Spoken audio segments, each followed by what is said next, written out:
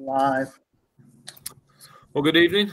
Uh, welcome to the Griffin Spalding County School Board uh, virtual board meeting, um, six o'clock on the 21st of, of July. And I believe we do have all board members that are present. And um, so I want to call it to order and thank you for those that are joining us virtually via YouTube uh, for being with us also. Um, those that are on the uh, call itself, if you will, make sure that you stay muted, um, except for when uh, you need to talk. That way we don't get the background noise uh, and those type of things.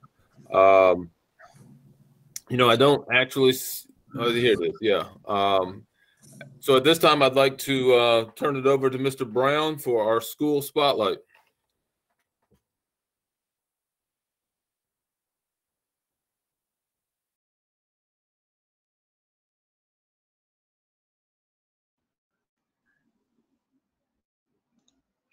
Good evening, Mr. Chair, colleagues, and Mr. Superintendent. Today, we are excited to highlight our one of our amazing schools that are doing great things socially and academically. It gives me great pleasure to present the Griffin to present the Griffin Spalding Board of Education Spotlight. I also would like to thank my colleagues for their support in this endeavor as we continue to build morale and highlight the amazing things that our schools are doing socially and educationally. Today, the Griffin Spalding Board of Education awards our July 2020 spotlight to Atkinson Elementary School. Let's clap it up for Atkinson. Atkinson is definitely indeed a special place. Uh, my constituent, Mr. Frank Touchstone, served as principal of Atkinson. And whenever I see him, Mr. Frank Touchstone always says to me, How is Atkinson doing? Are you looking out for Atkinson? So I would like to, on behalf of Mr. Frank Touchstone, let everybody know that I am indeed looking out for Atkinson because it is a distinguished District 1 school. And uh, Mr. Smith sent over some information as it relates to Atkinson Elementary and the statement that our principal uh, made in regards to receiving the school spotlight. Uh, how many scholars attend your school? There are 429 scholars enrolled at Atkinson. What is your school mascot? We are the Bears. How many faculty and staff members work at your school? We have 60 team members on staff at Atkinson Elementary. And number four is a quote from the principal on why you love being the proud principal of the school um, Miss Campbell said, Mrs. Campbell said, I love being the proud principal at Atkinson Elementary School because I get to be a part of progress and change. What makes me so proud is witnessing the accomplishments of my scholars and team. I do not take sole credit for the achievements taking place at Atkinson. The work that we do is only possible when we all recognize the mission and vision and work together to see it through. That is so true. Number five, what are the good things going on at Atkinson socially and academically? Atkinson has increased its CCRPI score by 17 points over the last five years. Great job. Demonstrated academic gains and progress on the Georgia milestones. Participated in our first ever walk to school event, which was really cool. I was there for that. Welcome GSCS mentors um, to mentor approximately 10 of our most deserving scholars. I do know that Mayor Holberg has been very instrumental in the mentor program. Um, I can't remember, Kadavi, I think is the guy, is the young scholar's name. I remember going and sitting and talking with them and we're doing, he was showing them how to do different knots. And uh, Kadavi was able to show me 10 different knots that Mayor Holberg had showed him through their time together of mentoring. So that program is definitely a success. Participated in the Read with Malcolm event, which supplied 90 of our second grade students with a copy of the book Read with Malcolm. Participated in the Read to Final Four event for third grade scholars, making it to the round round of 64. And I also know that um, there are several teachers there that do amazing things within their classrooms. Uh, Miss Amanda Woods is one of them who, um, if any, you know, central office staff or board members are interested in making sure that children have a purchase book to take home with them or have a purchase book in their possession, then you should reach out to Ms. Campbell um, and Ms. Woods, who are able to uh, put you in contact so that you can sponsor for a child to have a book. We know that great things happen when children, scholars, and parents and families begin to read. Our team members have also continued to grow professionally, adding six new endorsements, six new endorsements in the areas of multi-tier support systems, coaching and gifted education, leading professional learning in our building, and during the February Professional Learning Day. So ladies and gentlemen, boys and girls, children of all ages, I would like to present the July 2020 GSCS School Spotlight to Atkinson Elementary. Congratulations. Absolutely. And we have with us uh, on the line Mr. Caden Smith. Mr. Caden Smith is a fifth grader uh, at Atkinson, and he, after Mr. Holmes does our opening prayer, he will be leading us in our pledge this evening. So we thank you for that. Mr. Holmes?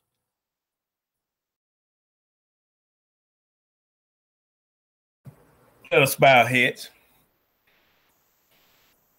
Father God in heaven, the great creator and our benefactor, we thank you, Lord God, for another day that you've allowed us to see.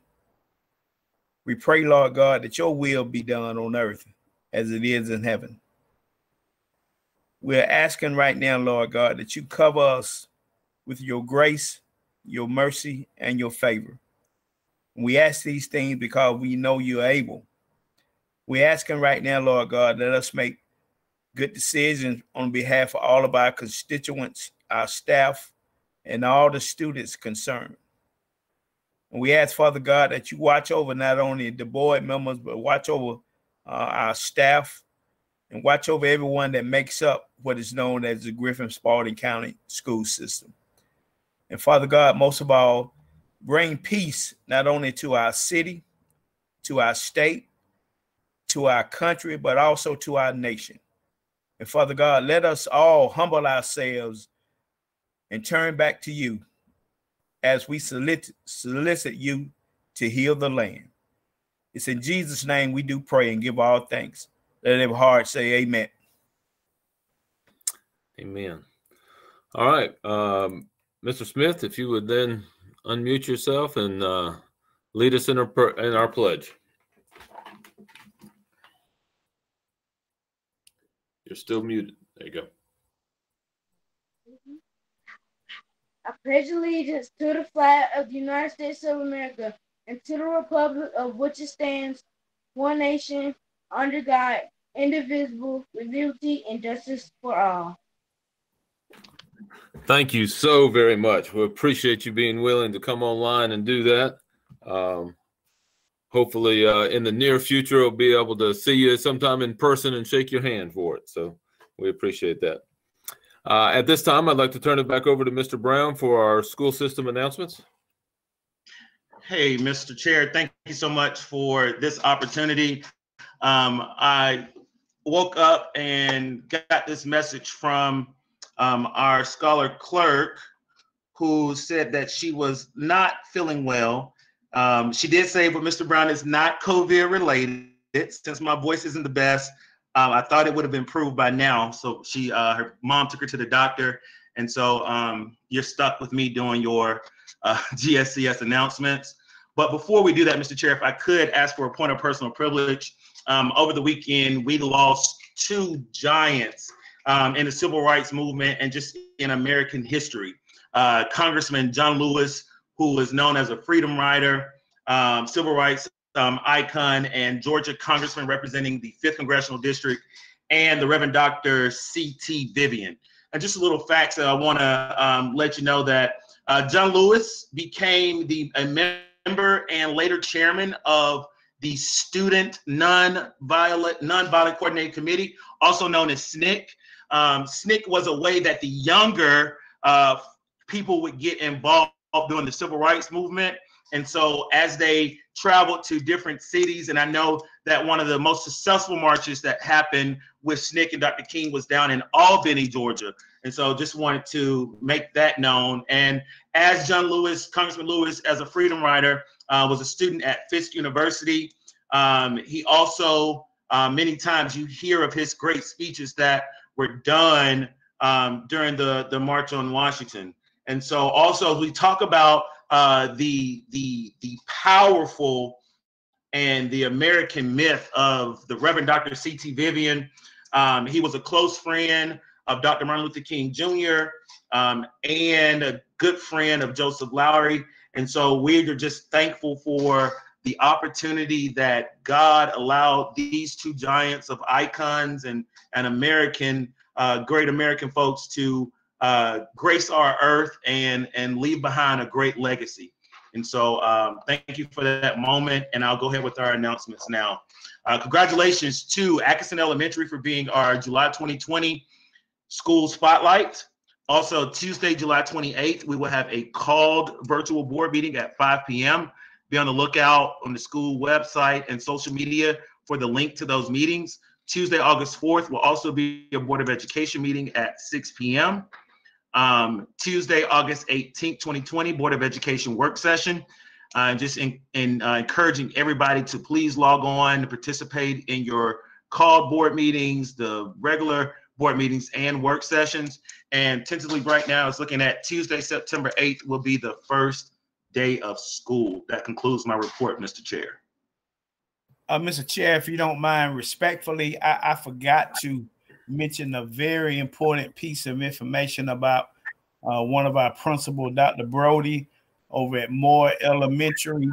She's experienced a death. Uh, she lost her husband unexpectedly, and uh, I, I, I, I was intended to uh, include them in our prayers uh, as I prayed at the beginning. But I want to uh, just just make note of that so each and every one can keep Dr. Brody lifted up in prayer.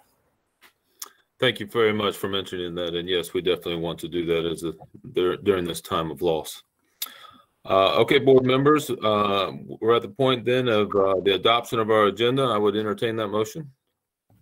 Mr. Chair, I would like to make a motion to accept the adoption of the agenda. Okay, I have a motion and then Ms. Barbara Joe has seconded. Um, any discussion? Uh, yes, sir, Mr. Chair. I do like to say thank you to Mr. Smith and cabinet members and staff members that I spoke with today. Thank you so much for answering my questions. Um, I do want to give a shout out, which I failed to do this morning when I was speaking to Ms. Sarah Jones. Uh, Ms. Jones, I got several compliments from teachers that were on the committee about how you made them feel so welcome and you made their input feel welcome during the task force. And so I just want to say to you, Ms. Jones, thank you so much uh, for all that you do for our school district, everything you do for our system.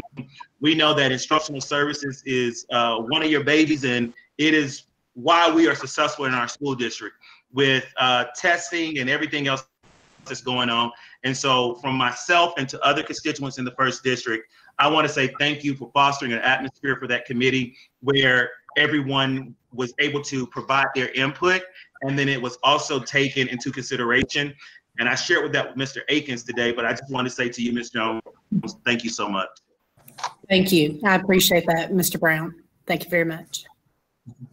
All right, we have a motion and a second. All in favor signify by raising your right your hand so we can see it. Okay, I think that we have everybody. 5-0. Uh, it is now time for public comments, and I know that we have two people that are have signed up in the room. Uh, and if you would, um, Mr. Lonny, if you would continue to highlight those as they come. Uh, if you would, when I call your name, if you would unmute and share your name and your and your address, and then uh, share with us um, what you would like to share in your public comments. Just know that the board members are listening. We're hearing. We're taking down information. Uh, we will not be responding back to you this evening, but uh, we are so grateful for you being taking the time to come and to speak to us. So, is Miss Carol Cobb ready?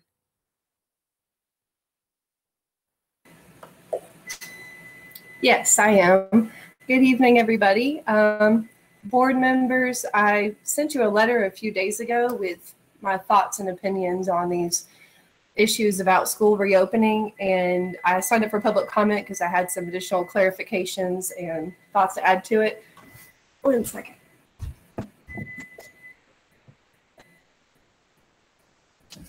Okay, sorry. joys of mom life. Um, I forgot to add, I'm a teacher at Orrs Elementary, and my daughter attends Orrs too, and we live here in Griffin, 160K Road. Um, okay, so I sent a letter with my thoughts on this issue, but I had some clarifications to make and just additional things after conversation with other community members about it. And in my letter, I shared that I think as a teacher and a parent, it would be best to go with all virtual learning so we can make more long-term plans and everybody can get trained in how to teach virtually. And by doing that have a blend of synchronous and asynchronous approaches to it so that parents have flexibility on what time of the day they're working with their children on the work instead of it being just set hours.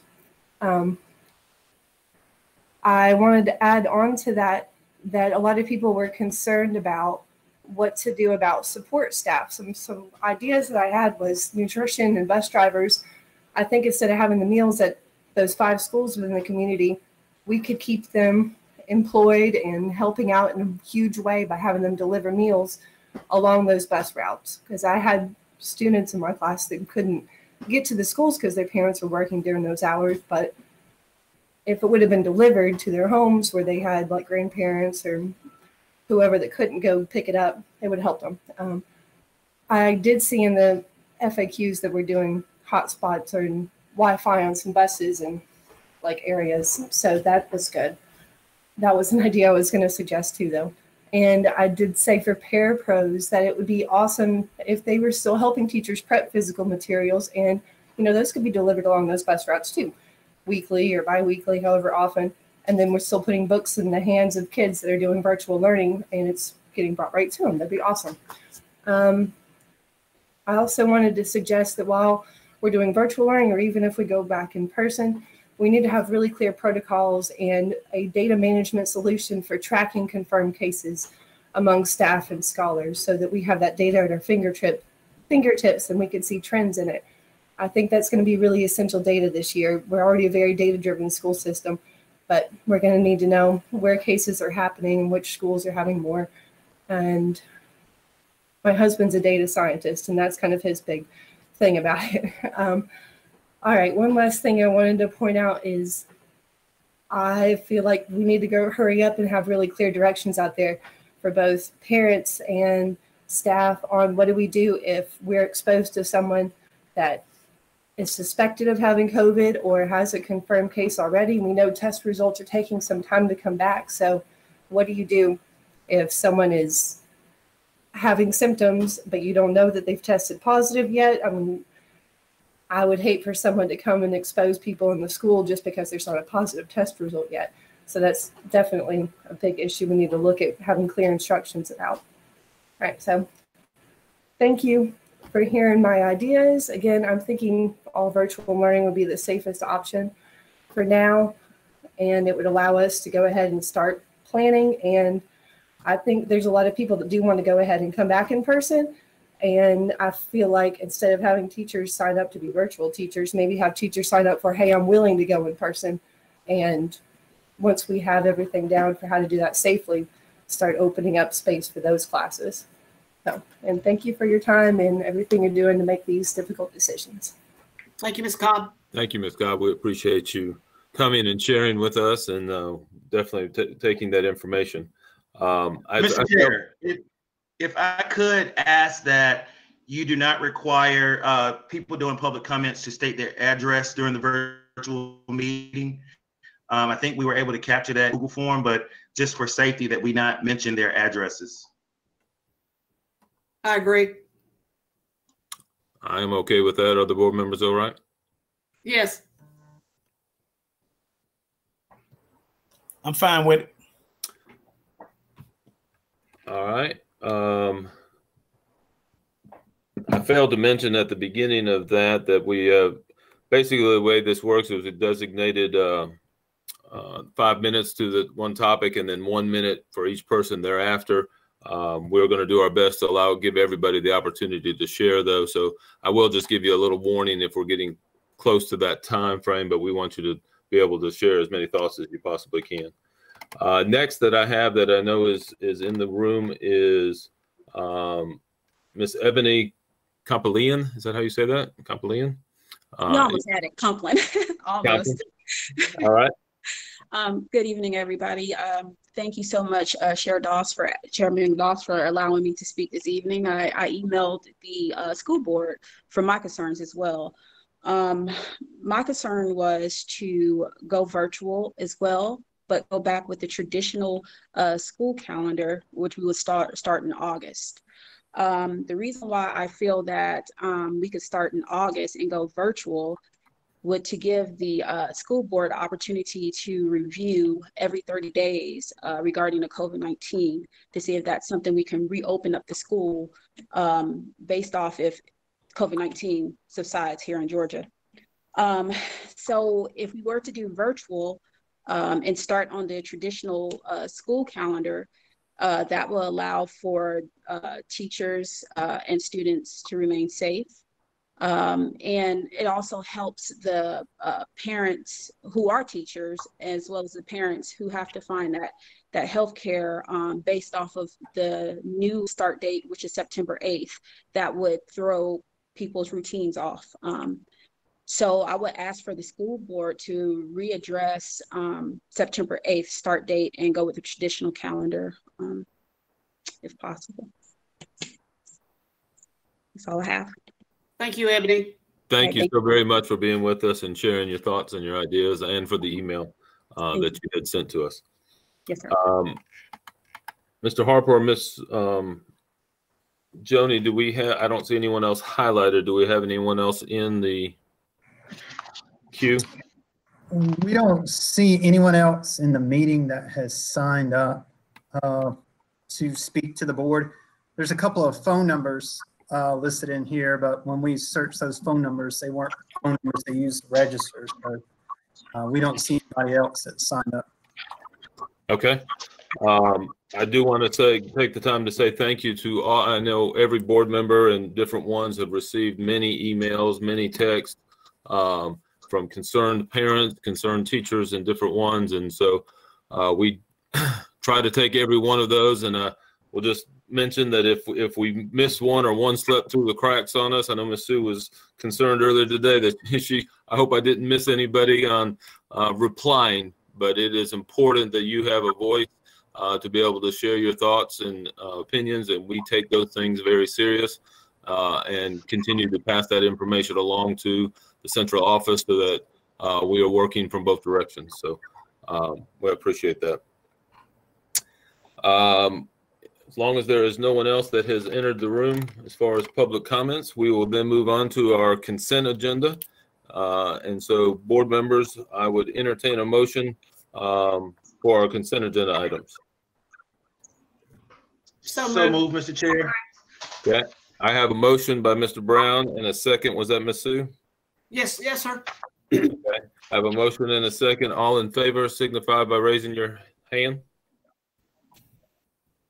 All right, and I am not seeing um, Mr. Holm. Okay, I, I see him. Uh, Thank you, sir. I see you now. I just, Bring the screen down, Mr. Hall, so we can see your head and your face. I was missing you for just a second.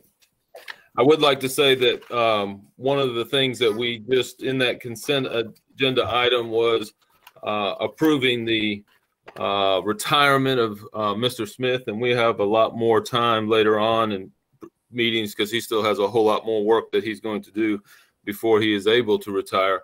But I wanted to let the general public know that next week's uh, five o'clock virtual meeting uh, is with the Georgia School Boards Association.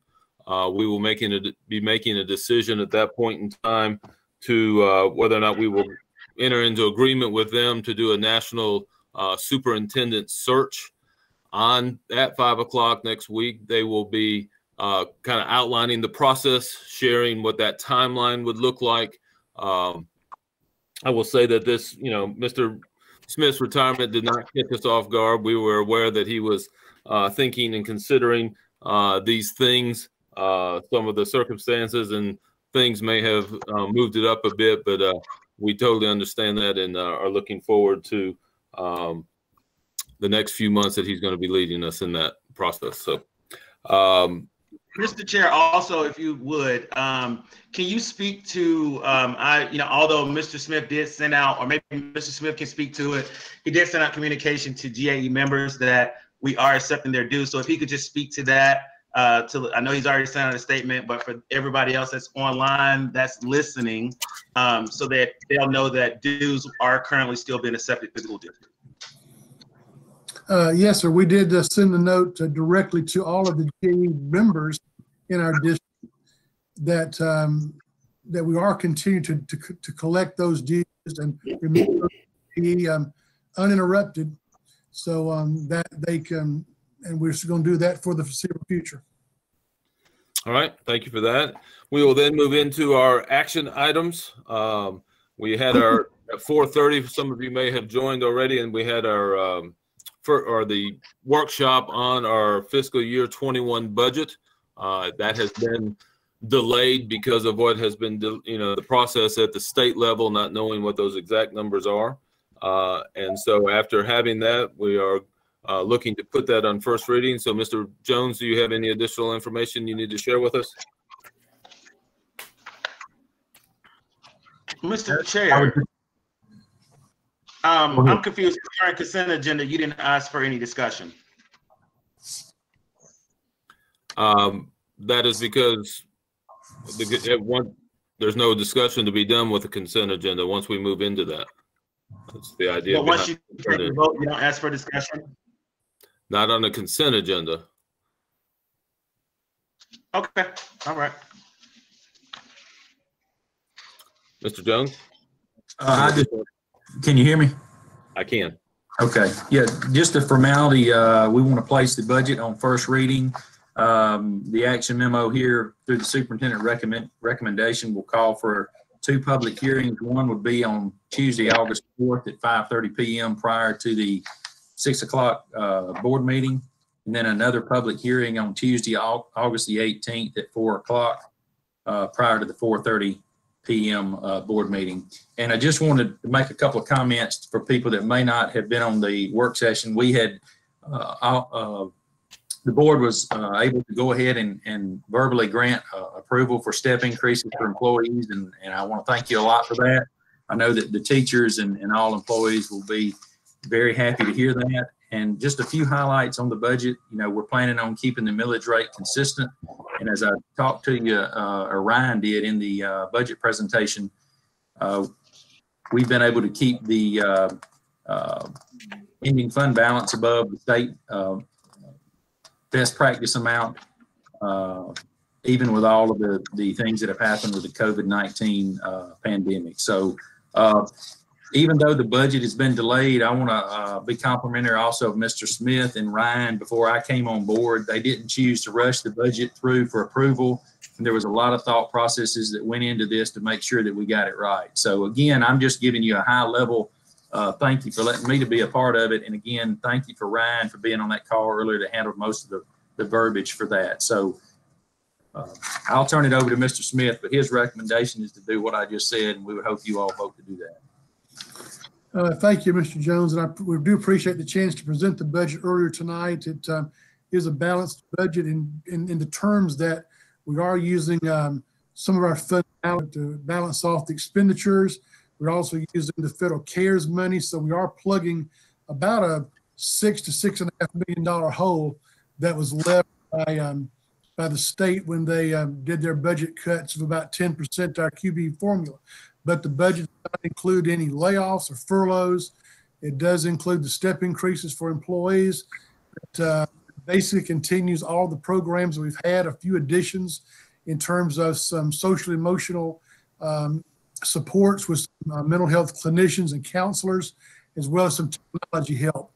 Uh, so I'm real pleased that our, our budget is um, uh, the financial strength we have in our school district allows us to move a budget forward that is very consistent with the prior year. Not a whole lot new added, but uh, there were no um, cuts that are going to hurt uh, hurt staff. We believe will hurt the program either. So I appreciate uh, your consideration of that. Placing it on first reading tonight is the first step in consideration process, and then we'll go forward with work sessions and public hearings, et cetera, until we get to uh, final adoption, which we would like to target to be that August 18 uh, work session and put it on there for the final adoption. All right, thank you very much. Uh, board members, any questions, um, Mr. Jones or Mr. Smith before I entertain a motion to put it on first reading? Okay, hearing none, I would then entertain a motion. So moved, Mr. Chair. I have Second. a Motion by Ms. Barbara Joe, and the second was it Mr. Zach? Yes, sir. Okay, any discussion? Hearing none, all in favor signify by raising your hand. Okay, looks like it was five oh. Mm-hmm. All right, Mr. Jones, I'll turn it back over to you and Mr. Smith again for the continuing spending resolution. Okay, Mr. Chairman, thank you. This is uh, uh, kind of a do-over for what we did in July. We went ahead and cautioned you that we may need to do another spending resolution for the month of August, um, which basically puts us in compliance with state law. Uh, Most of the surrounding districts are doing this as well, which basically gives, that you would be granting us the authority to spend one twelfth, or at this point, two twelfths, if you go through the month of August, uh, of our budget. And uh, if we pass that um, adopted budget on August the 18th, then we would not have a need to do another one in September. So um, that would be the recommendation that you all approve that, and uh, uh, this should be the last time we have to do this. Okay, board members, any questions, comments? No, sir. All right, I would entertain a motion then for the uh, um, recommendation for continuing the spending resolution. So moved. Second. I have a second by Miss, I mean, a motion by Miss Sue, and I believe that was Mr. Centel. Yes, sir. Okay, uh, any discussion? All in favor then to signify by raising your hand. Okay, I believe that was five oh. Uh, we will then move on to our human resources budget request for fiscal year twenty-one. The Georgia Residency for Education Amazing Teachers. Ms. Stephanie Dobbins, can you address that? Yes, sir. Thank you, board members. I- I'm pleased to um, request approval of the Georgia Residency for Educating Amazing Teachers program in our school system.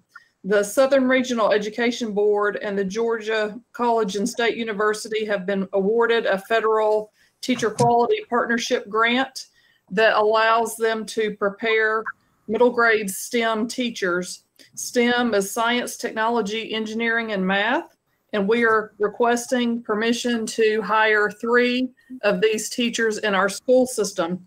The grant through Georgia College would pay the teacher's salary, and the school system would only have to fund the cost of benefits.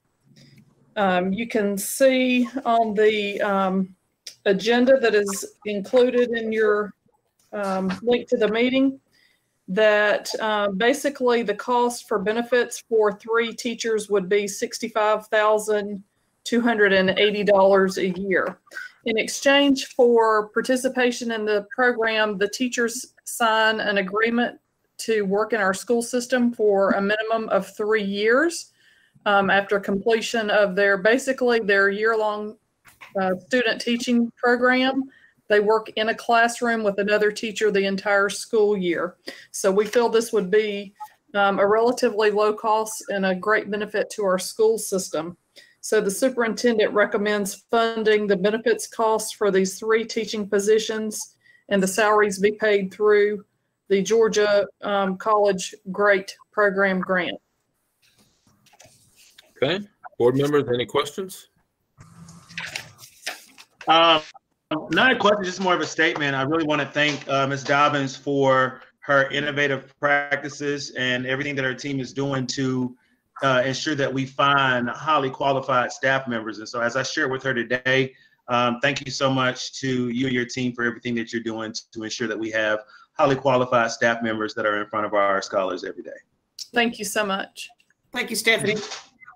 Thank you.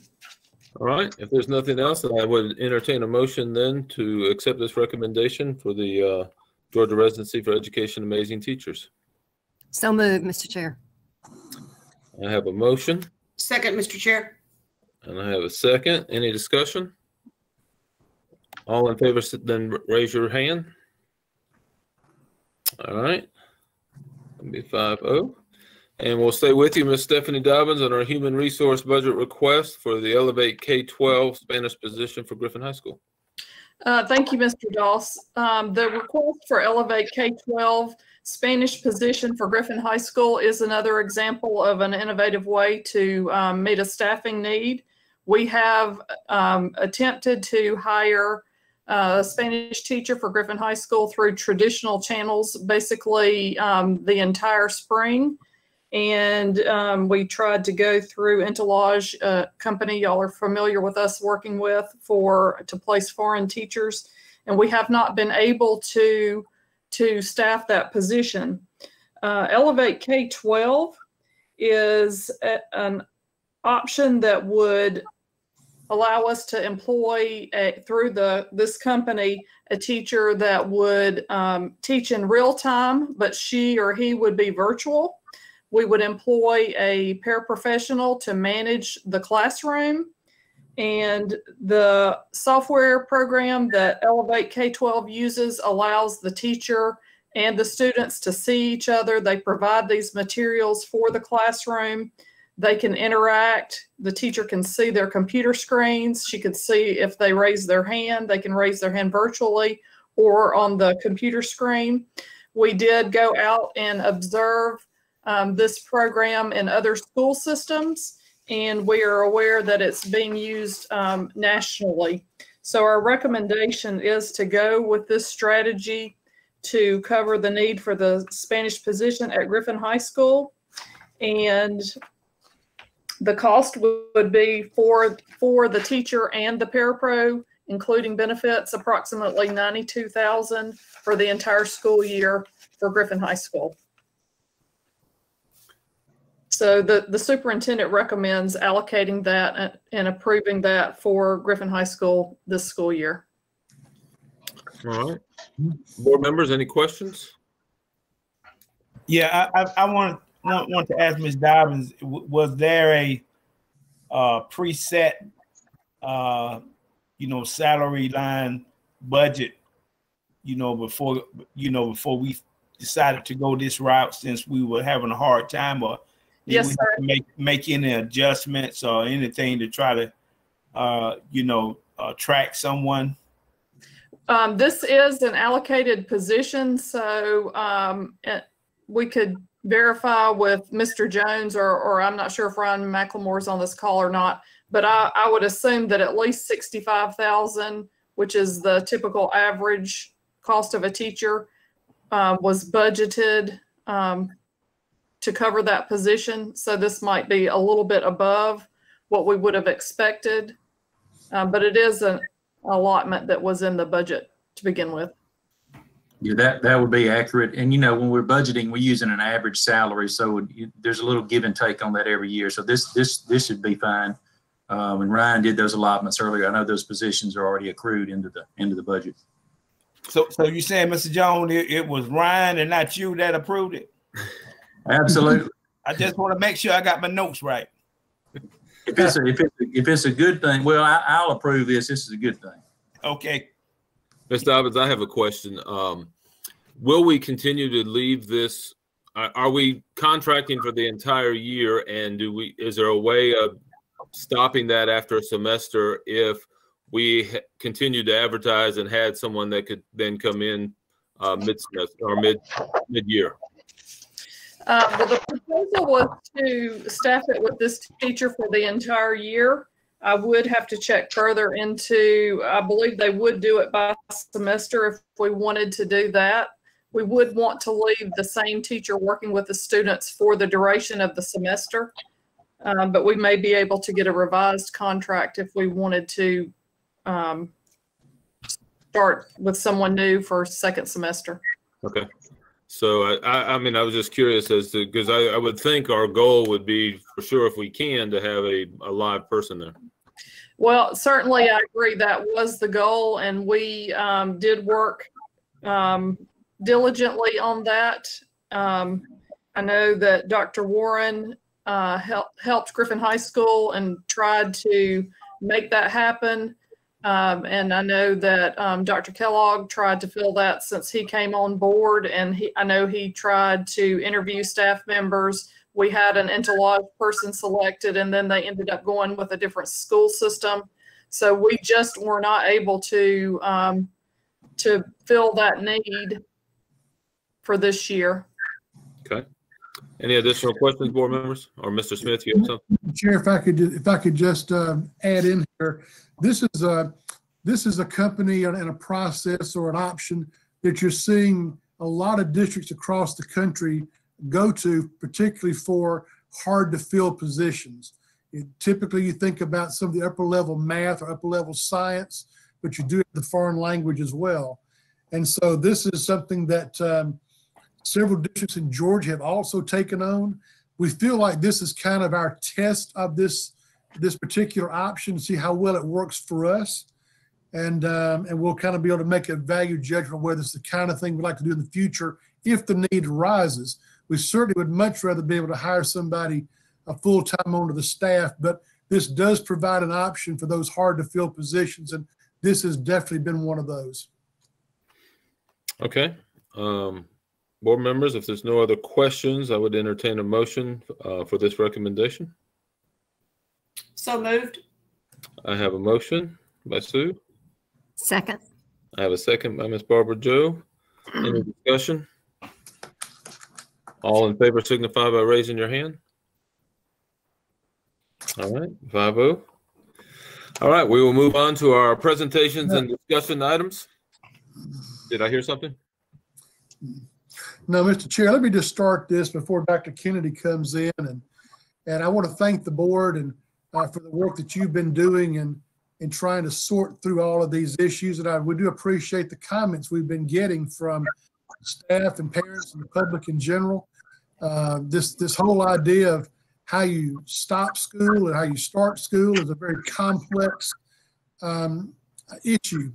And there probably is no real right answer out there. It's probably a matter of trying to do the best you can. And every district is just facing this and, many, and across the nation too. And there are a lot of uh, out there.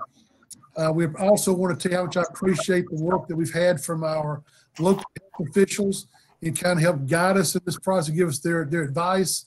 And District Four of Health, uh, from Department of Public Health, District Four in LaGrange, they've also been very valuable in this as well. So um, when the board uh, on uh, July the 8th adopted basically the option one, which was the choice between returning to face-to-face or an online option, and moved the date to September 8, we had to begin the work of um, looking at what a change in date from August to September meant for us. And that's taken up the last, you know, 10 or 11 days trying to work out all of those implications. So I'm going to ask Dr. Kennedy to get started on this and, and walk you through what we've uh, learned about that and, and how we uh, would propose to make the September 8 uh, start um, a reality. Thank you, Mr. Smith. Uh, Good evening, Mr. Smith and members of the board. Uh, Tonight, we would like to provide some information regarding what work has been accomplished as part of the reopening of schools plan for option one that was approved on July 8th at the board meeting with a delayed start date of September 8th that was selected by the board.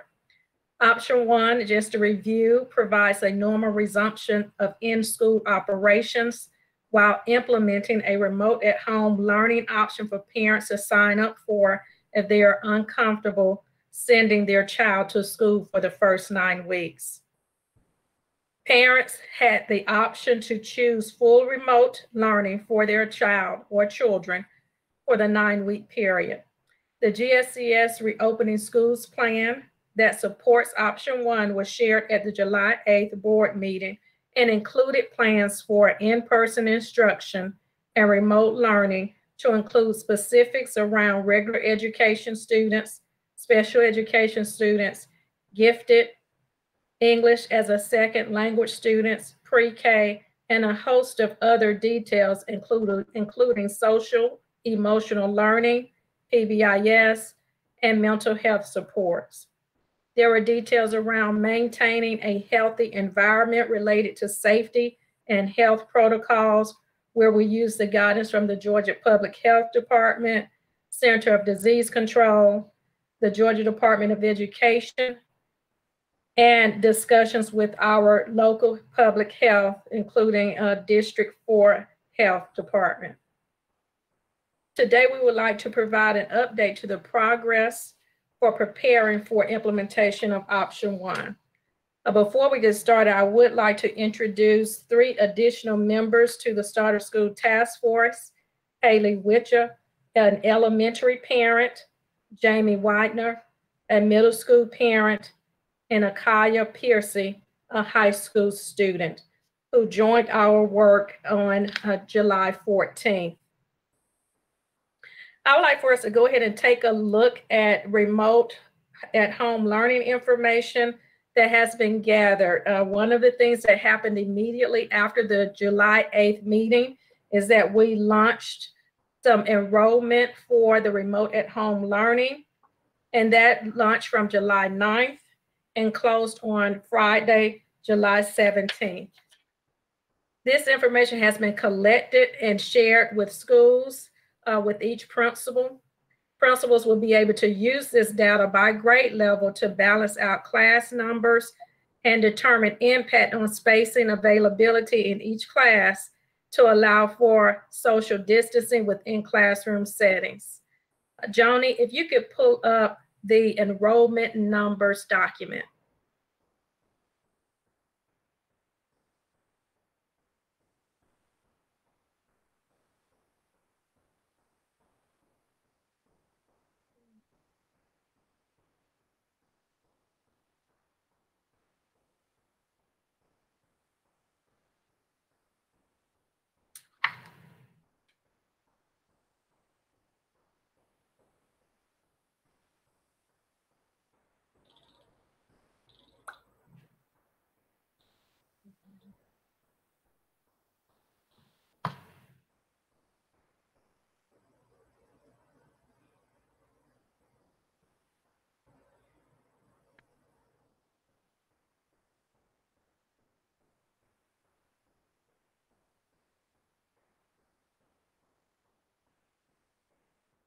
Thank you.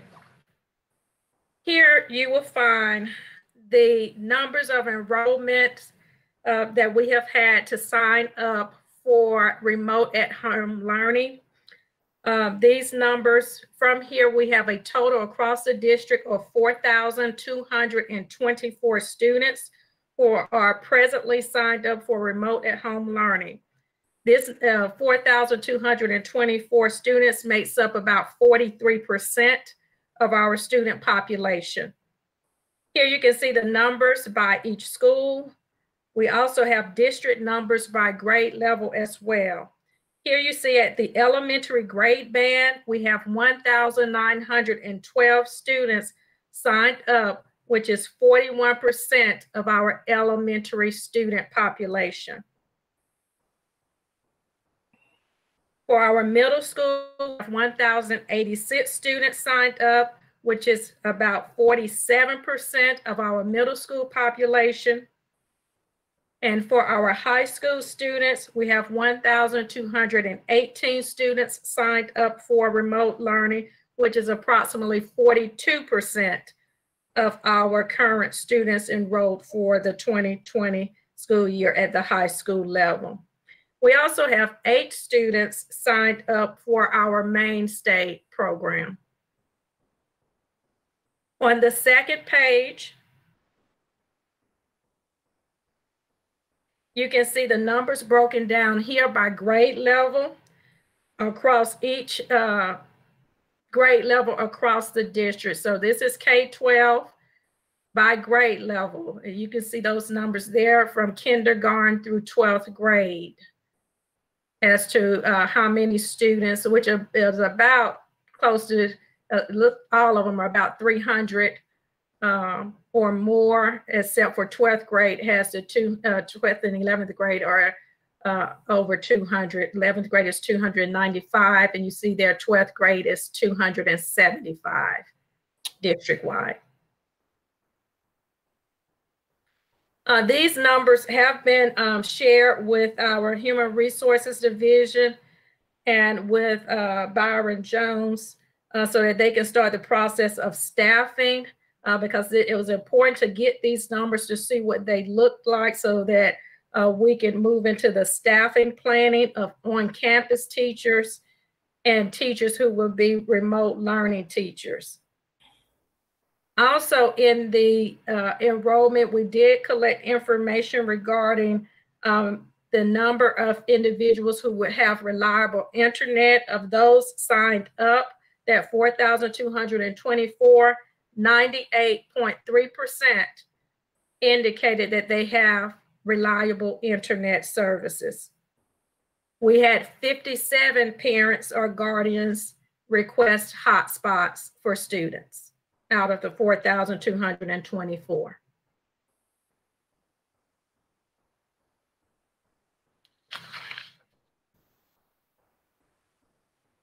Any questions around those numbers uh, for the uh, remote learning? Did you say 57 parents on hotspots? Yes, that's correct. Okay. Any other questions, board members? Okay, you can continue. Um, the task force met on Tuesday, July 14th to start working on the FAQ, the questions and responses. Uh, as Mr. Smith has indicated, we know the board received a lot of questions. We received a lot of questions after the, July 8th meeting. Um, and so we want to make sure that all of those questions were answered. Uh, the communications, we did finalize our first round of responses uh, to the questions, and those were shared uh, out to the board yesterday, as well as to uh, the community and to our staff members uh, today. The next task force meeting uh, will be held on July 27th, which will be this coming Monday, the next Monday coming, to discuss work group information that will be brought forth to the task force to include remote learning plans, our COVID student response protocol, which you will hear some about this evening. Staffing, uh, we will be looking at where those staffing numbers are, and you'll hear some about the plans for staffing uh, this evening as well. And we'll also be uh, looking at any other FAQ questions that we may receive between now and Monday, the 27th, to start uh, formulating uh, responses for those. So at this time, we do have some other individuals who are uh, on the meeting um, this evening. We're going to bring some updates. I'm sorry, someone asking a question. Okay. It's going to bring some updates. We're going to start off with Anthony Akins, uh, who will provide an update on our COVID student response protocol and safety. And while Anthony is uh, providing that update, we will uh, ask uh, Mr. Wheeler to come back and answer the nutrition question that Mr. Brown uh, spoke about in the earlier meeting um, in, in, reference to the waivers. Uh, following Anthony, we will have Stephanie Dobbins who will provide an update on the staffing plans.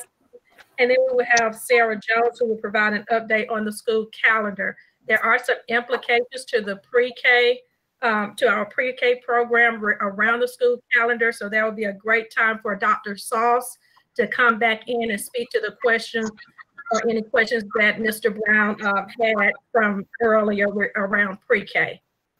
If everyone's okay with that, we will move forward with uh, Mr. Akins.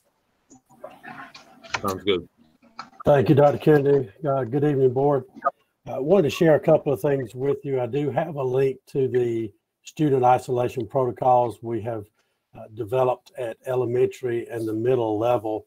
Um, before I get to that, though, I'd like to quickly address, uh, while that's being pulled up, um, just some current inventory uh, of our PPE and our um, cleaning.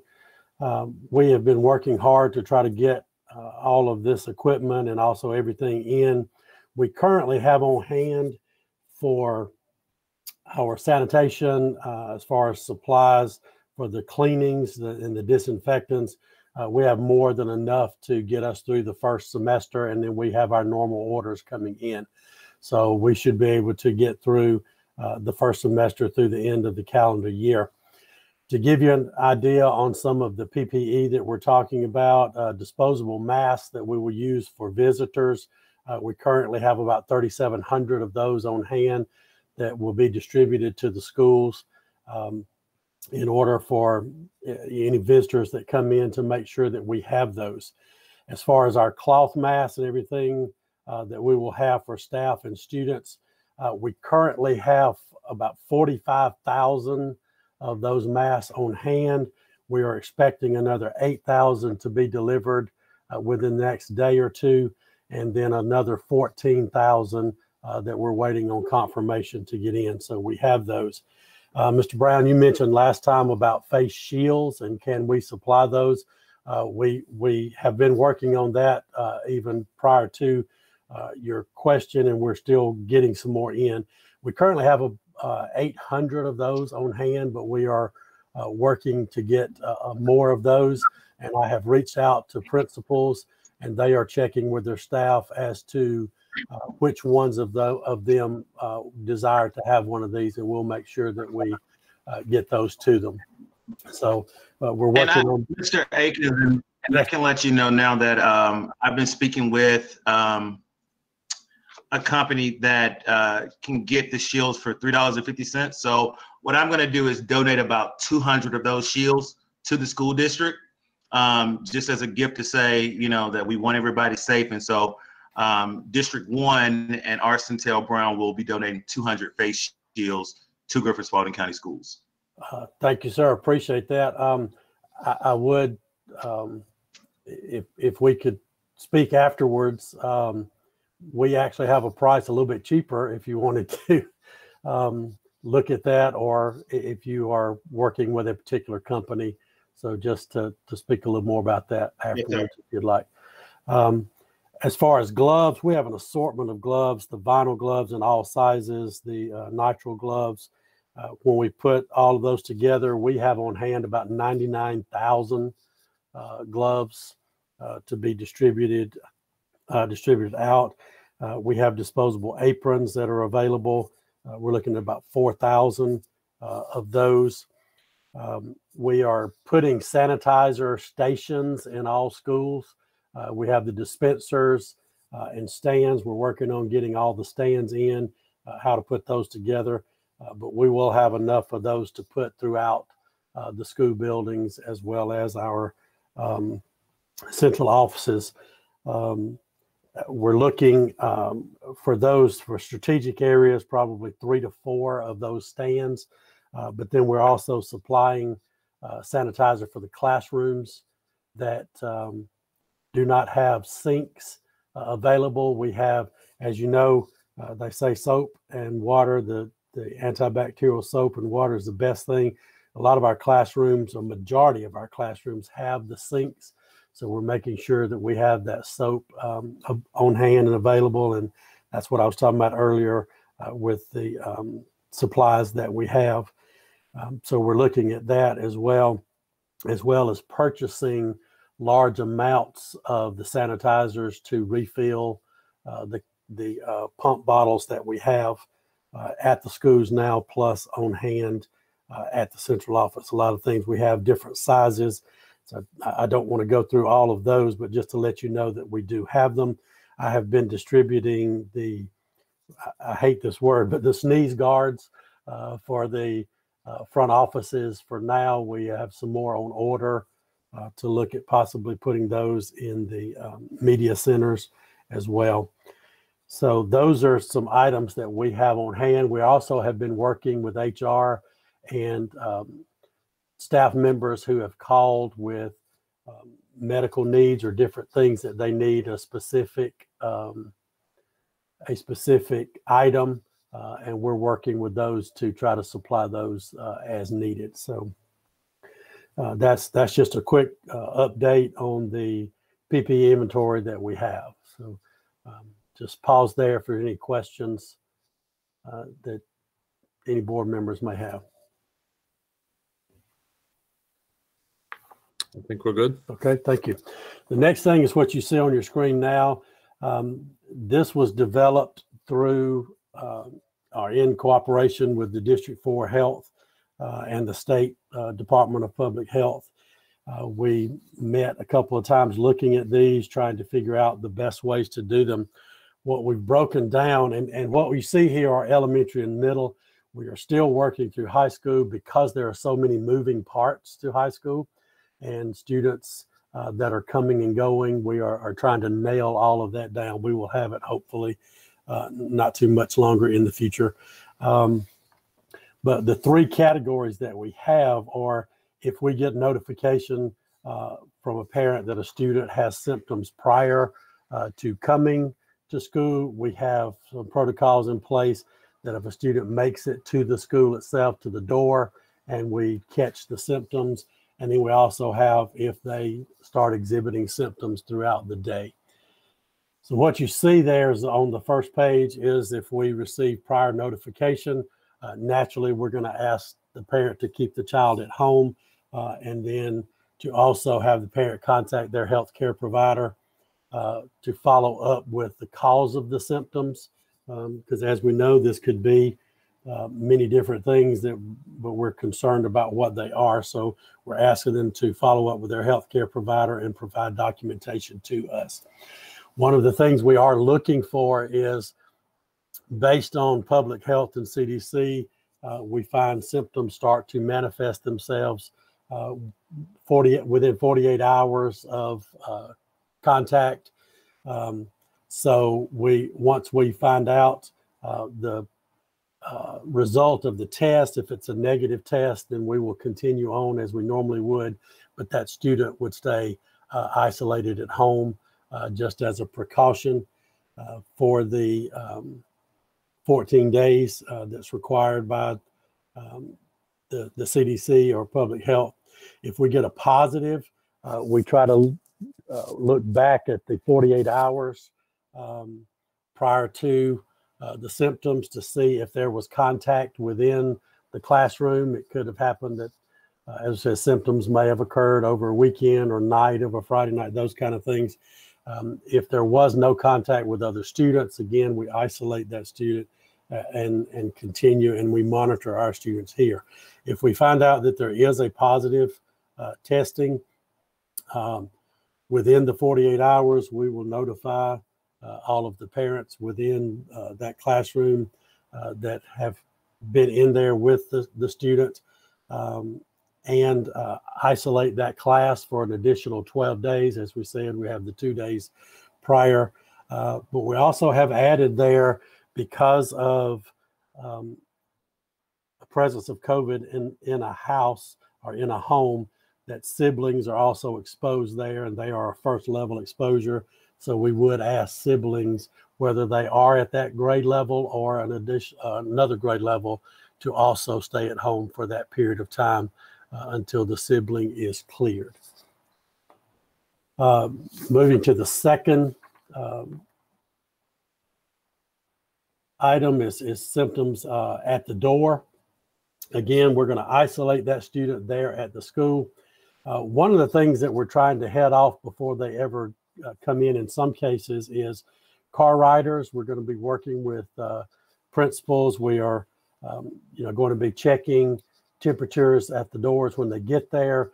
But especially with car riders, uh, we're going to ask principals to, to work with us and work on a plan to actually take temperatures in the car rider line before the students exit their vehicles. That way, if we detect something, the student never enters the building, uh, the parent can then uh, return the student to the house.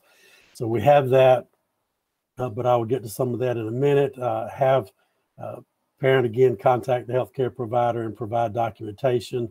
Again, if we have negative COVID, we continue as normal. If we have a positive COVID, then we're going to look at two different scenarios. If the student was a car rider, they've had no contact with other students within the 48 hours, we will continue and monitor our students. If they have had contact within 48 hours, we're going to isolate the class and siblings as we did prior. If the student is a bus rider um, and there has been no contact previously, um, we will continue as normal. If there has been contact, we will isolate the class that that student belongs to, uh, any siblings, and also the other riders of that bus. Okay, so we would notify parents uh, of that. So if we have symptoms during the school day, if you'll go down to the third page. Uh, for the school day, um, we're going to isolate that student. We are identifying rooms within the building uh, other than the nurse's station because we don't want the students um, with those symptoms staying in the nurse's station while other students may be coming up. So we will identify an isolation room, and in some cases, we may have more than, than one room. So we will isolate them there uh, to send them home. Uh, I know that uh, we've had a question come up about what if a parent can't come get them? Um, they don't have transportation of something of that nature.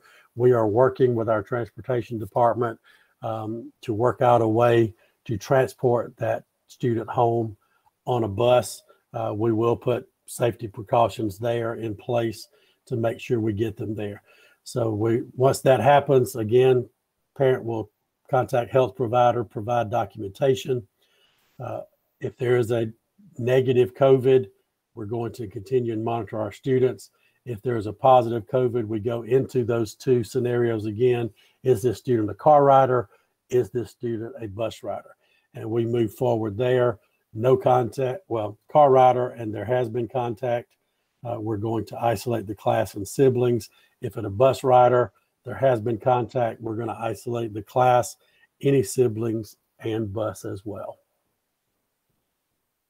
So those are the three uh, scenarios that we have uh, worked up at this point.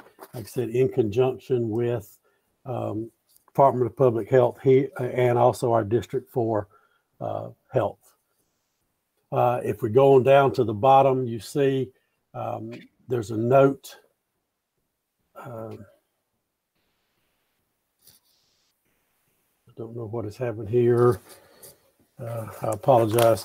If um, at any time uh, during the process the number um, of isolated classes reaches 50% of the established academic classes within there, whether um, there's been necessarily uh, contact in each of those, we will close the school for a minimum um, of three days, um, 72 hours. That will give us time uh, because rooms have to be isolated for 24 hours before we can go in and clean based on CDC recommendations. Also, um, for um,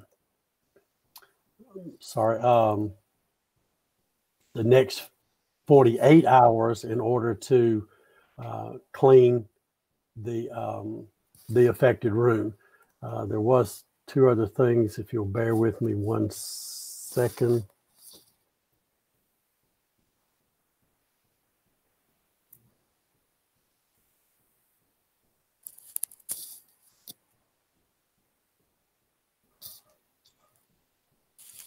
Apologize.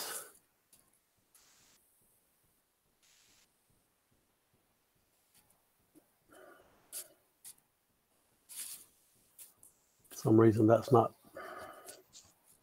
pulling up.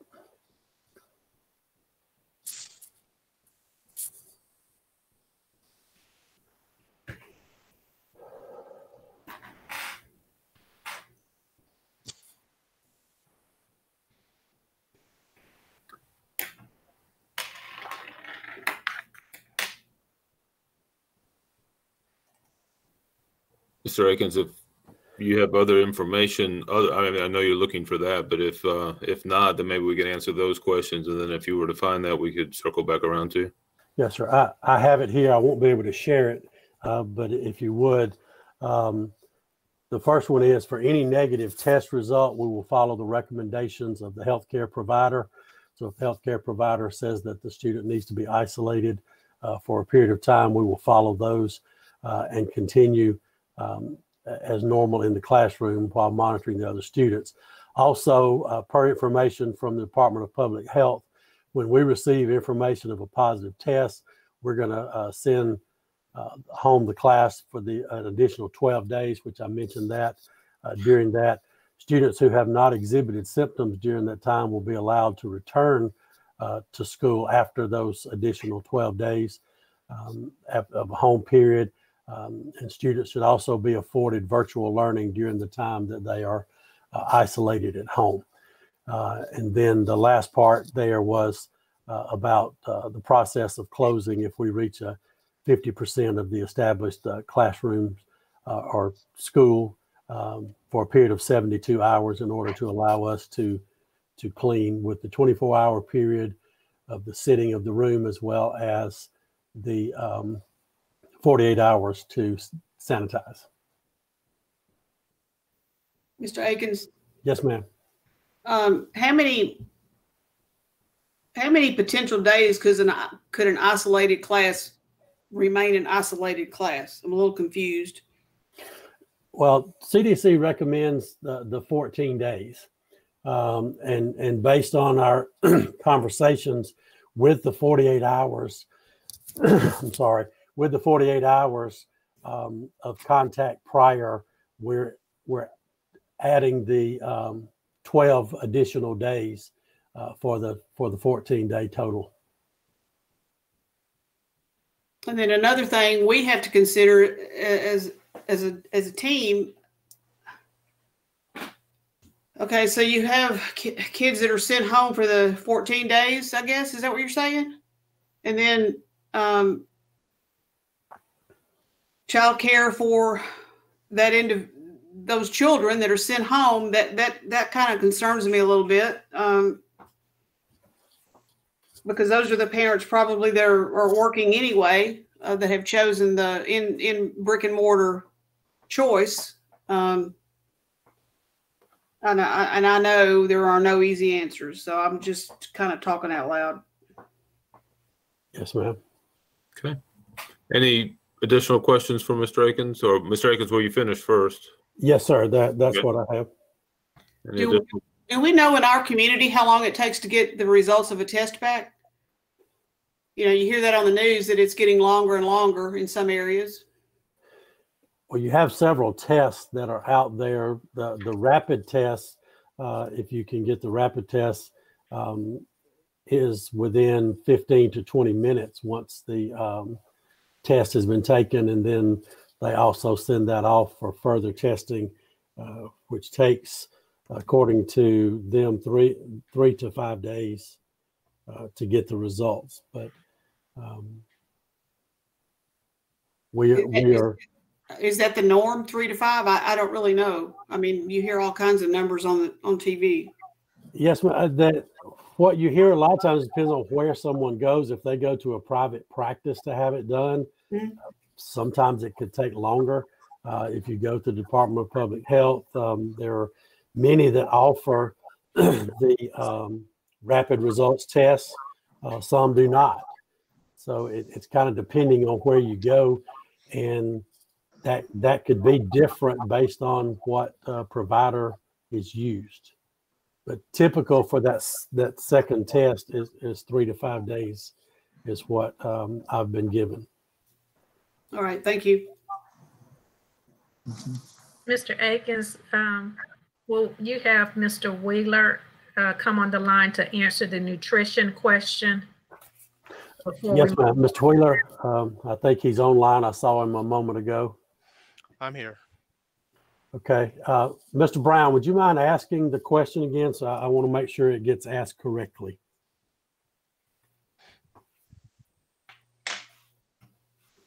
I'm sorry. Say that again, Mr. Aiken. I, I was just wondering if you would ask the question about the, that you had in the 4:30 meeting for Mr. Wheeler. I don't want to mis, um, represent the question. Uh, If you'd like. No I'll- problem at I'll- all. Okay, thank you. Hey, Mr. Wheeler, how are you today? I'm doing well, sir. How are you?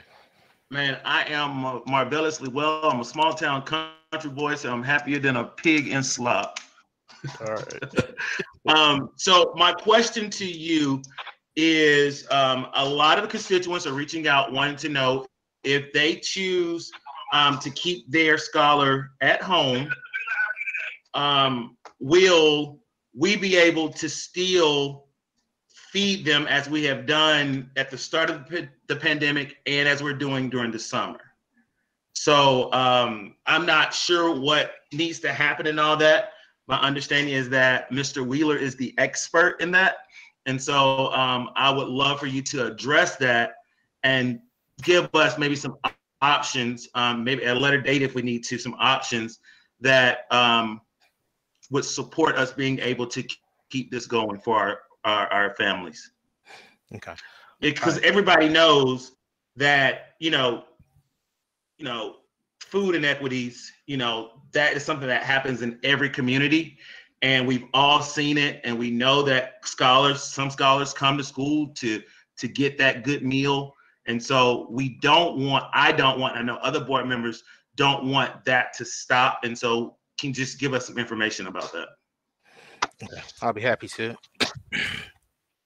when school closed down in March, we went into an emergency feeding through the um, COVID emergency feeding, same the summer program. When we did that program, um, all the students were able to eat meals. We were able to provide meals at certain locations to every student at the free rate. Um, when we start back in the regular school year, we're no longer on the emergency feeding. We're now under the National School Lunch Program, and it differs, but yet it's similar and it's still the same. And what I mean by that, um, the the way the meals were generated or the way that we were reimbursed during the same the summer piece, um, it was just a difference in the uh, way that we had to account for it. And then, in other words, any student, any child under 18 could receive a meal when we first did the emergency feeding from March until we start back on the first day of school. Now, when we have uh, school start up, there have been three waivers that we've all been approved that Griffin Spalding has been approved for. I received confirmation from the state director today. We have the uh, mealtime meal times waiver, and what that does, that allows us to. We're talking about a, either all virtual or or a, a blended model that will allow us to have um, serve meals, multiple meals to those students that's doing virtual learning um, on certain days and certain pickup times. Um, we have the parent pickup, and that would, and this is where it differs, and this is the key piece. Um, under the National School Lunch Program and this um, parent pickup, the parent can pick up the meal for the student at the school. Whereas when we were under the emergency feeding, any child under 18, regardless of you know preschoolers or whatnot, could could receive a meal.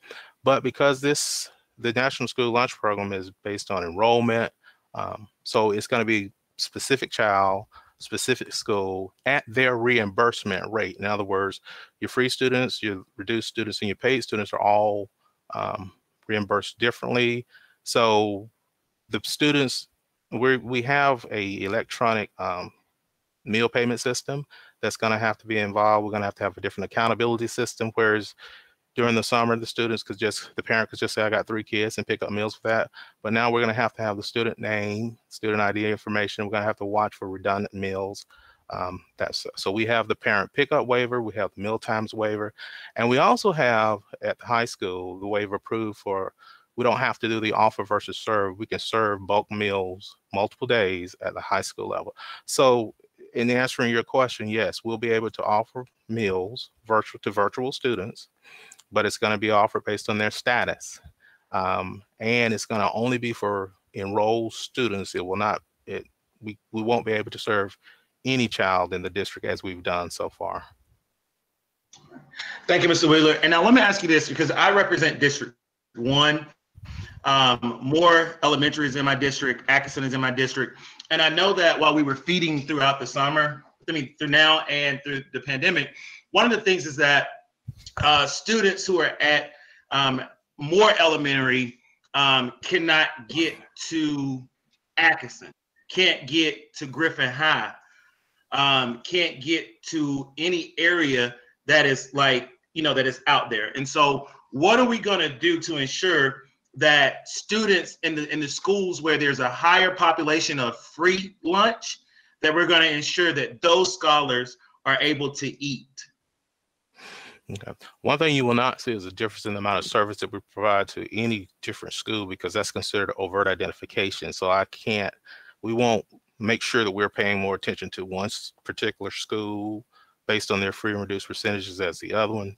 There will be, I believe there's some efforts or some discussion talking about um, a combination of us preparing meals and having perhaps the transportation help us to deliver those meals Um, I'm going to have to, Mr. Akins can help us with that piece of it. But um, we will provide, and that's one of the things that's kind of that's really beneficial with the numbers, with what we're looking at as far as virtual students and those students um, that are going to be in the brick and mortar buildings. We're going to provide or produce meals for those populations. What we're going to try to do, because we have a, a, a combination of inventory, we're going to try to, you know, when you're dealing with younger kids, you've got to consider the safety piece, but we also have, you know, the, the desire to put some more hot item, not necessarily hot, but we have to be concerned with the safety, but something other than just the prepackaged meals. So those students that are at Moore um, or any other school, we're gonna try to use some of the inventory to, you know, to, um, you know, give them some different varieties. But also when we're doing those virtual meals, we have to deal with the safety, time, temperature, control, those things that's going to make that meal. We got to make sure the safety is the primary. So we want to try to you know, reduce variety, but consider the safety piece. But every school will have the same amount of focus and attention as far as the service and providing meals to any child that wants a meal. Right. And I know that we, we, we you know, I just always gonna shout out my district and make sure that um, you know my district has and the schools in my district have the resources that they need and so um, mm-hmm. that's why i said that using Moore as an example um, and I, I, guess if we're talking along the same lines, maybe this question is for Dr. Kennedy, but thank you so much, Mr. Wheeler. Um, Dr. Kennedy, we know that today there were at least over 80 people still trying to sign their children up for virtual learning. Um, have there been talks about extending the deadlines so that you guys can capture more of that information? We have discussed that, uh, Mr. Brown. At this point, we needed to capture this information of the 4,224 um, that have signed up so that we can start looking at allocations and staffing uh, so that we can get some type of baseline and planning. The longer we leave that kind of open at this point, the less time we're going to have to be ready for school if we're talking about having uh, teachers allocated for remote learning and teachers allocated for on-campus learning. So we need to be able to find out what our capacity and capabilities are regarding staffing both of those areas. Uh, if there's a point after we, once they've been able to identify what that uh, capability and capacity is, if we're able to reopen at that point would be a better time than us stopping that work midstream right now and then delaying the planning process from moving forward because we're really uh, getting down to the wire when we're talking about the start of school, which is approaching quickly. Yes, and thank you so much. And thank you, Mr. Chair, for that. And I'll turn it back over to Mr. Akins. All right, um, Mr. Bratton, thank you. I, I, wanted to follow up on uh, something Mr. Wheeler said because we have been working, and I've been working with Mr. Harris with transportation uh, and working with Mr. Wheeler trying to sort through how we could do this. Uh, at first, you know, we didn't have the waivers to be able to serve both, um, but now we're able to serve. We could serve the students there in the brick and mortar building, as well as students uh, who are on virtual, uh, again, depending on um, their status. Um, and uh, working at possibly doing the, the multi-day meals, but not quite exactly what we were looking here. One of the things that we talked about is possibly um, delivering uh, twice a week. So we would say maybe Tuesday, Thursday, uh, so Tuesday we would do a, a, meal package for two days. So that would be that Tuesday, Wednesday, or Tuesday, Wednesday, the morning of Thursday. Um, then on Thursday we would deliver for Thursday, Friday, and the following Monday, uh, because as you know we can only serve for days that are school days. Uh, but working yes, uh, doing that so that uh, working with our staff to have the ones there fixing meals for the students that are there up through lunch uh, of like Monday and then spending the afternoon putting together the meals uh, Monday afternoon and t- Tuesday morning that would be delivered out uh, on Tuesday afternoon. But yeah, we would have to, you know, just do some uh, communication with our parents of, of which ones would need that and then work with Mr. Harris to develop um, bus routes to make sure we can get those delivered. All righty. Thank you so much. Yes, sir. Uh, that's all I have, Mr. Chair. I have a, one more question for Mr. Akins, Mr. Chair. Okay.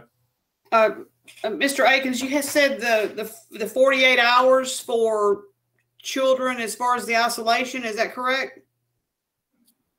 Uh, we go back 48 hours for to try to determine contact um, with that with the student that has the symptoms.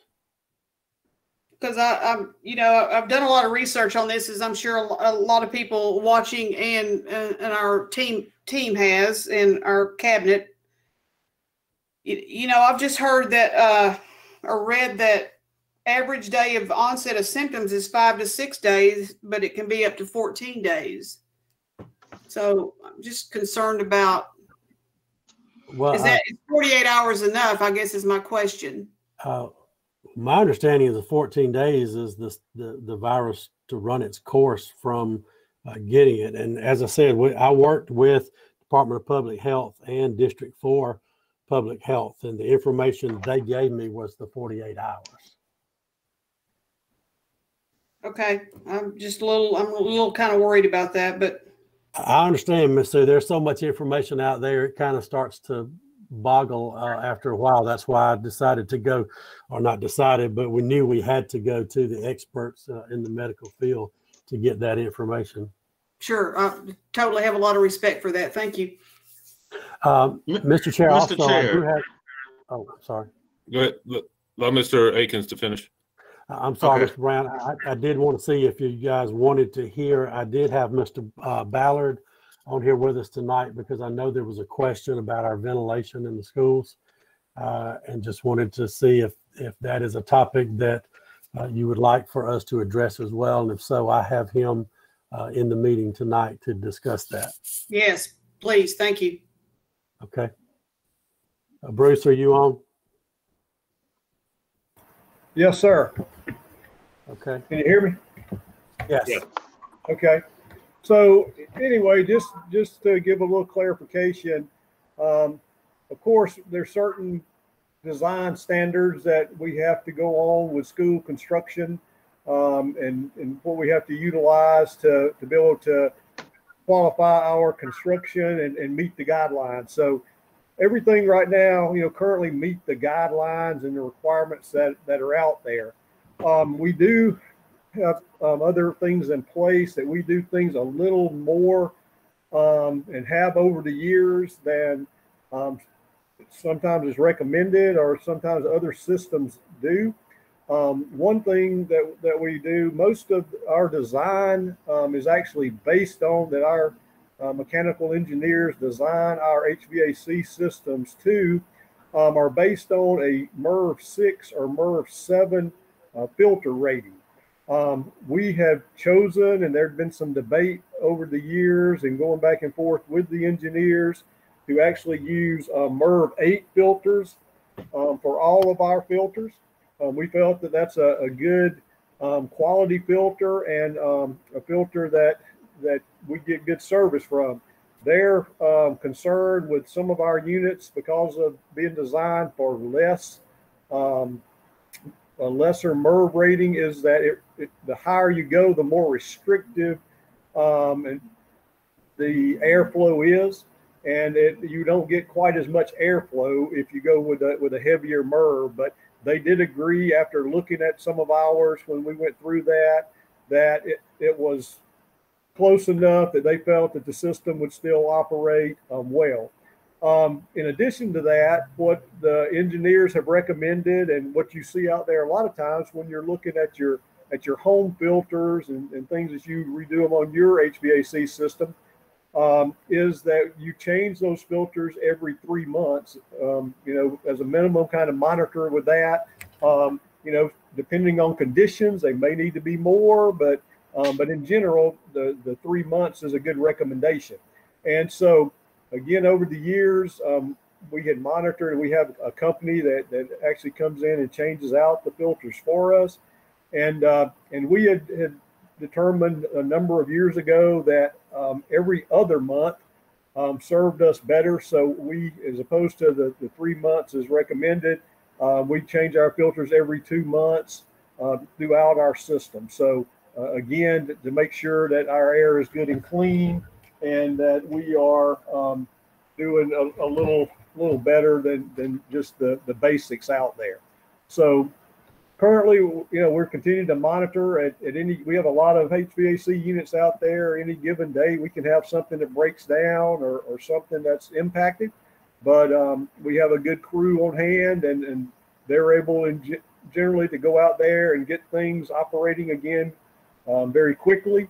Um, we do have a, a, some situations where if it's a larger piece of equipment that it may take a few days to get a, a component or um, you know a motor or a compressor that breaks down. But um, but again we can usually service those relatively quickly and, and keep that um, airflow and movement out there in the schools going well. Um, what we have in a lot of times if it's individual classrooms that we have a, a situation in you know, if, if their need um, arises, we, we actually have some temporary um, standalone units that we can take out there for to take care of a classroom or office areas and things like that uh, while we're getting the part. So um, again, we, we try to go over and above in that, have for years, um, even before this this situation came about with the pandemic, and uh, and want to continue to do our best at uh, keeping our air clean and um, and flowing in our schools. All right. Thank you very much. Anything else, Mr. Akins?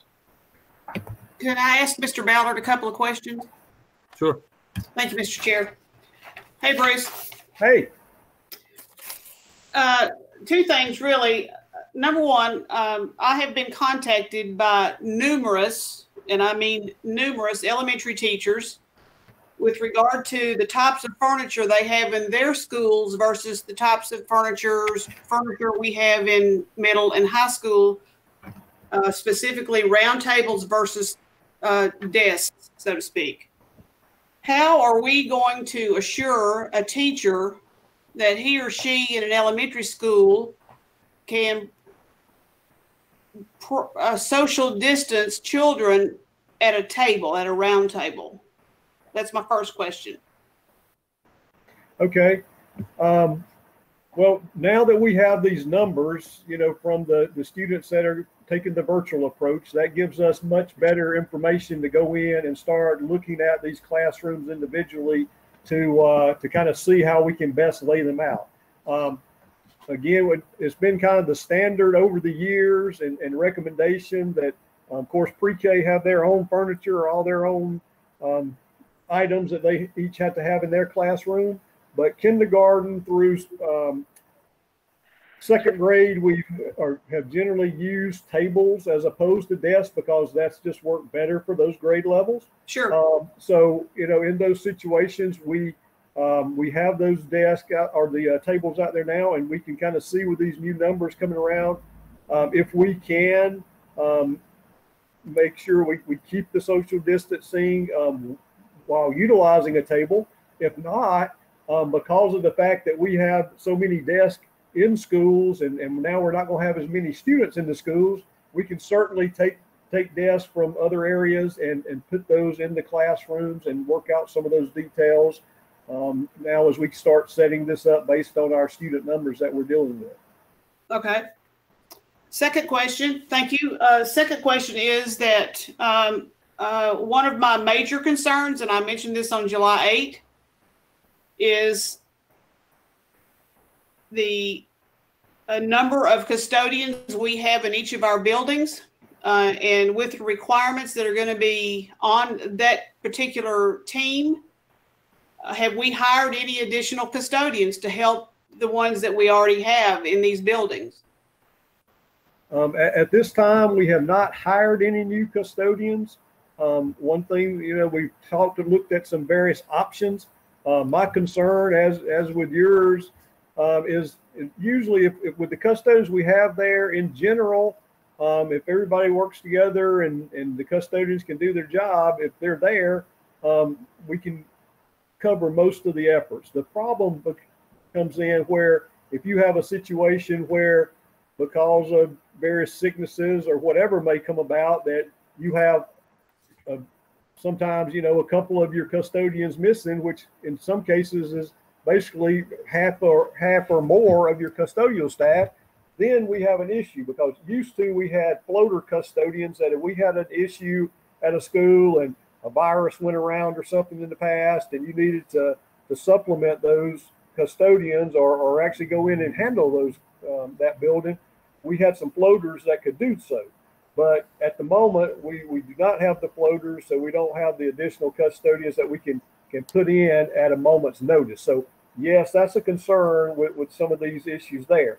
Um, one of the things that we've talked about in, the possible means to overcome some of this, again, um, we've been talking with the numbers and, and with bus routes maybe being lower than normal or, or, or, how they are. We're not having as many, not having field trips, maybe not as much many other um, events that we could possibly um, reach out and see if, if some of these bus drivers and Mr., we talked to Mr. Harris about this. He feels that he usually has a, a good core number of uh, bus drivers that would like to do additional work, have other options to make a little more money, and they may not have as many opportunities this year.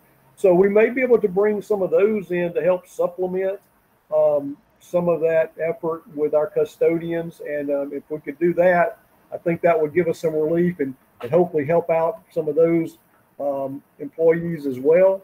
And uh, again, as we kind of see, you know, how to move forward now with the schedule and some of our numbers, uh, we're going to be able to work out some of those details a little better than um, we've been able to do up until this time because we really didn't know the numbers. Well, I, am going to tell you the uh, I said it in, on July the 8th, and I'm going to say it again tonight. I, I, do not want and I do not desire for our teachers to have to clean their own rooms. And I'm very concerned that we don't have additional custodians at this point in time.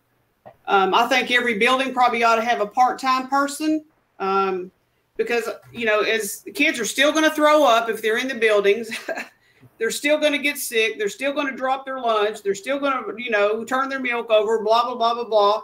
And I, you know, this is these are the the two things that really bother me um, as a board member: the furniture, um, and the the lack of custodial help at this point in time. That just uh, that's not good for me. Well, one thing again we were talking about with the uh, with the bus drivers is with even an option to have at least one per school addition we could put in there. So that would hopefully give you know that additional uh, person out there that could give you a, a, little bit more of a comfort level. And I guess one question for you, you know, it, it's never been our intention. We certainly don't foresee or or desire to have teachers clean their rooms.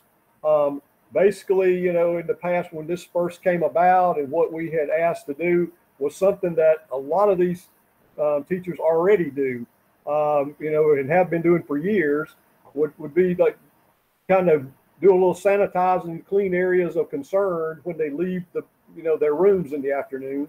And what we had, had done at the time before we were getting out was just provide them with some of our um, sanitizing spray and just allow them to, to spray the room down at the areas and just to sanitize that. It just air dries and and then it's ready to go the next morning. Um, so that was all that we were really, you know, asking them to to do any any different. So, do you have a problem with just that effort? Um, because again, we're, we're certainly not intending to, uh, the teachers to clean the rooms. The custodians are going to clean the rooms like they always have.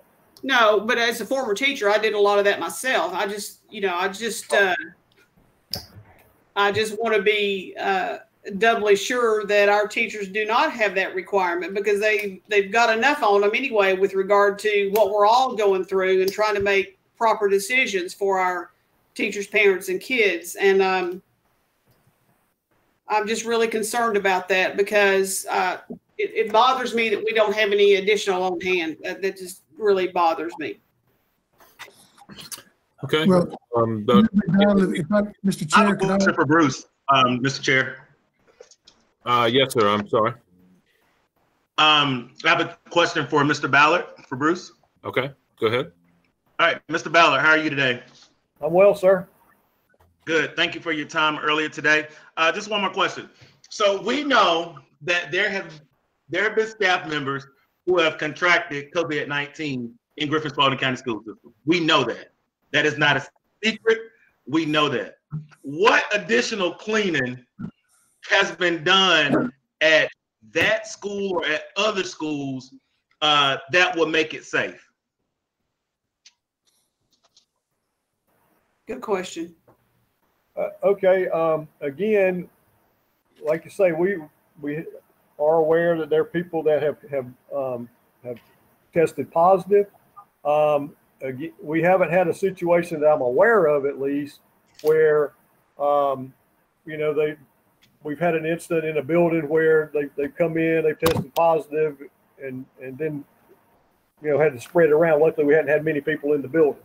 But any case where we, where we have it, um, you know, we, we have any that's come about, um, those areas will be further sanitized and cleaned. As Mr. Aiken said, the recommendation is that um, you wait at least 24 hours before entering the rooms to clean them if you have an, an area that's been affected and, and you have a, a, known case in those rooms.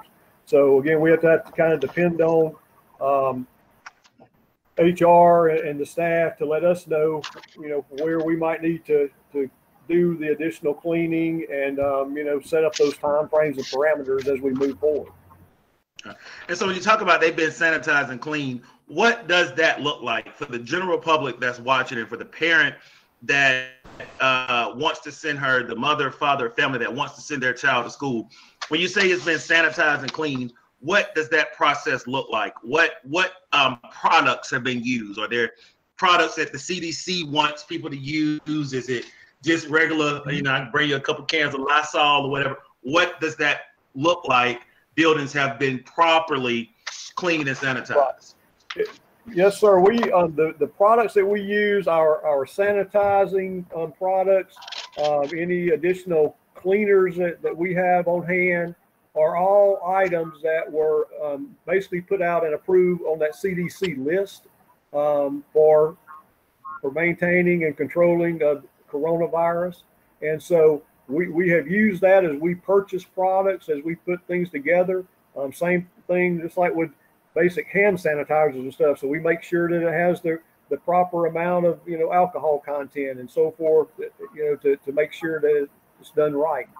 And in those various areas, um, you know, that means you're going to go in there and, and you're going to, once that 24 hours is up and, and our staff can go back in there, they'll, they'll go back in with, with their mask and gloves and, and gowns, things they need to have on to protect themselves. And they will go in with um, a quat pro- product. Uh, we use a lot of lemon quat. We also are now getting some mint quat. Um, that's a, a Buckeye chemical product that is on that list and recommended for um, the control of, of coronavirus.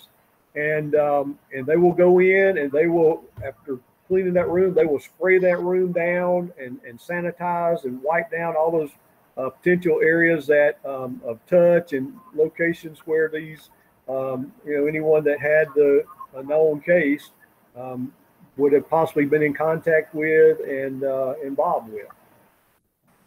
Okay. And that goes for their offices, their restrooms, you know, all the doors in and out that they've touched and everything. All right. Well, thank you so much. And Mr. Chair, I have no further questions. I know that we need to get through uh, the rest of the questions. I know Dr. Saul still needs to speak and a couple others. And so um, I'll just reserve my um, comments until um, it's time for the discussion. Okay. I just have one more short question for Bruce while he's here. Is there has there been any additional training for our custodial staff to this point? Uh, yes, ma'am. You know, initially when this all started up, um, we had gone through and and and talked to them about the importance. Some of the things that we also put in place were um, with them and as well as the administrative staff at the schools is to note, you know, any place in the building where we had people coming and going, uh, where we could then go behind those and sanitize. That's been since school was let out. We wanted to be sure that um, every day uh, we knew where people were in the building, uh, where we could be sure that that was was properly done. So we put um, other efforts in place to to monitor and try to hold people accountable um, that areas are being adequately cleaned, and we plan to, to continue to do that. um, and, and actually um, increase some of those areas as we go forward. Um, Mr. Akins and I were just talking today about um, some checklists in each classroom um, for all of the high touch areas and, and, points out there. We were already doing it in the restroom areas. Um, so again, you know, the just stressing the accountability of this um, and that people take it seriously and, and do their job and, and with the cleanup efforts and what needs to be done and accomplished out there. It's very important. Thank you. Okay, Mr. Smith, I think you were going to try to say something. Yeah, thank you. Um, I, I, just wanted to tell Ms. McDonald, we're obviously the cleanliness of the buildings is key. Uh, that's what uh, people expect. That's what gives the confidence they can go back into the building and, and be as safe as possible. Um, we do know that there are there are no guarantees. Uh, things do happen, but we can take all the precautions that that are that are prudent to do, and even go above and beyond many of those. Uh, I think the comment that now that we have an idea of the number of, of students who may be in our classrooms versus those who wish a, a virtual option is going to provide us information. We need to look at the options that we do have with the staff we've got. You know, one of our real keys has been to make sure that we don't have to lose staff. But it may be that under this, we have to find a different way to use staff. And that's what we looked at as part of this. And as Bruce mentioned, the idea of perhaps, um, you know, some of the staff that may not, you know, drivers or others that may not have um, additional uh, field trips or those that they've been relying on during the day to come in and help. Maybe one way to actually help them to, to be able to c- continue to work with us. And so this gives us a chance to do that. But please know that the safety of our students and our staff is foremost. And the work that Bruce has been doing uh, has been aimed toward that. And we're going to continue to do that. Thank okay. you. Thank you. Dr. Kennedy? Uh, now we'll move on to the staffing. Uh, Stephanie Dobbins will be sharing uh, the plan for the on-campus teacher and the remote learning teacher. Stephanie. Thank you, Dr. Kennedy. Um, as, as Dr. Kennedy mentioned, we have 4,224 students that have signed up at this point for virtual learning. So HR and finance will work together to reallocate our positions to designate the positions, not the people, the positions as virtual or on campus. Um, there are multiple routes to virtual teaching. Um, uh, you know, again, we've reiterated um, several times this evening our employees' safety and wellness and that of our students is our top priority. So we've had a um, confidential medical accommodation process open um, we've got several employees, not just teachers, but in different types of position that positions that have been applying for accommodations. And those can be as simple as um, the school system providing a face shield or other types of personal protective equipment, all the way to approval to um, virtual teach from home. So, as far as um, the routes to virtual teaching, this accommodation process would, of course, get priority over any other route. Um, then, uh, additionally, we have advertised for teachers to apply to be a virtual teacher. And so it has become apparent during this process that we're not getting enough applications to meet the need um, based on this 40 something percent system wide. So we will have to ask additional teachers to um, to work as a virtual teacher that have not applied through the accommodation process or the application process. But after we allocate the positions, the principals will select the teachers. Um, we're not dictating from the system level who gets those um, assignments. The principals know their people and who is going to be most effective in what role. And so they will definitely um, be working to do that very quickly. We do have um, meetings scheduled with principals on Thursday and Friday of this week to work through this process. Um, we are planning for uh, virtual teachers to report to work to do their virtual teaching from the um, school buildings. We feel like we can provide the most reliable internet and support, technology support, support from administration, mentors, PLCs. Of course, we do have brand new teachers that we're hiring who have no teaching experience. We know they need to be in the building and have resources available close by to provide support to them. And of course, those with um, accommodations may be approved to work from home. Um, but all teachers, virtual and on-campus teachers will work the same hours, work hours and work days. So do y'all have any other questions about um, staffing under option one? Any questions, board members? I do. Yes, Mr. Mr. Sorry. Go ahead, Ms. McDonald. All right, thank you, Um, Mr. Grant. Okay, I'll go ahead. Go ahead. I'll, Go I'll ahead, Mr. Okay. Okay. Steph- So my Steph- question is, There's a delay. Stephanie, hey. Hey, Sue. If we, if we, uh, uh, let's just say hypothetically, we're going to do virtual. Are we, are, are we prepared teacher wise to do that? Uh, yes, ma'am, we can make that happen because, um, you know, if you, um, do hundred percent virtual, all of our teachers will be virtual. If we have this split, we can, we can handle that also. All right. Thank you. Mhm. and my question is, the document that you're presenting today, has that sent will that go out to staff as soon as possible?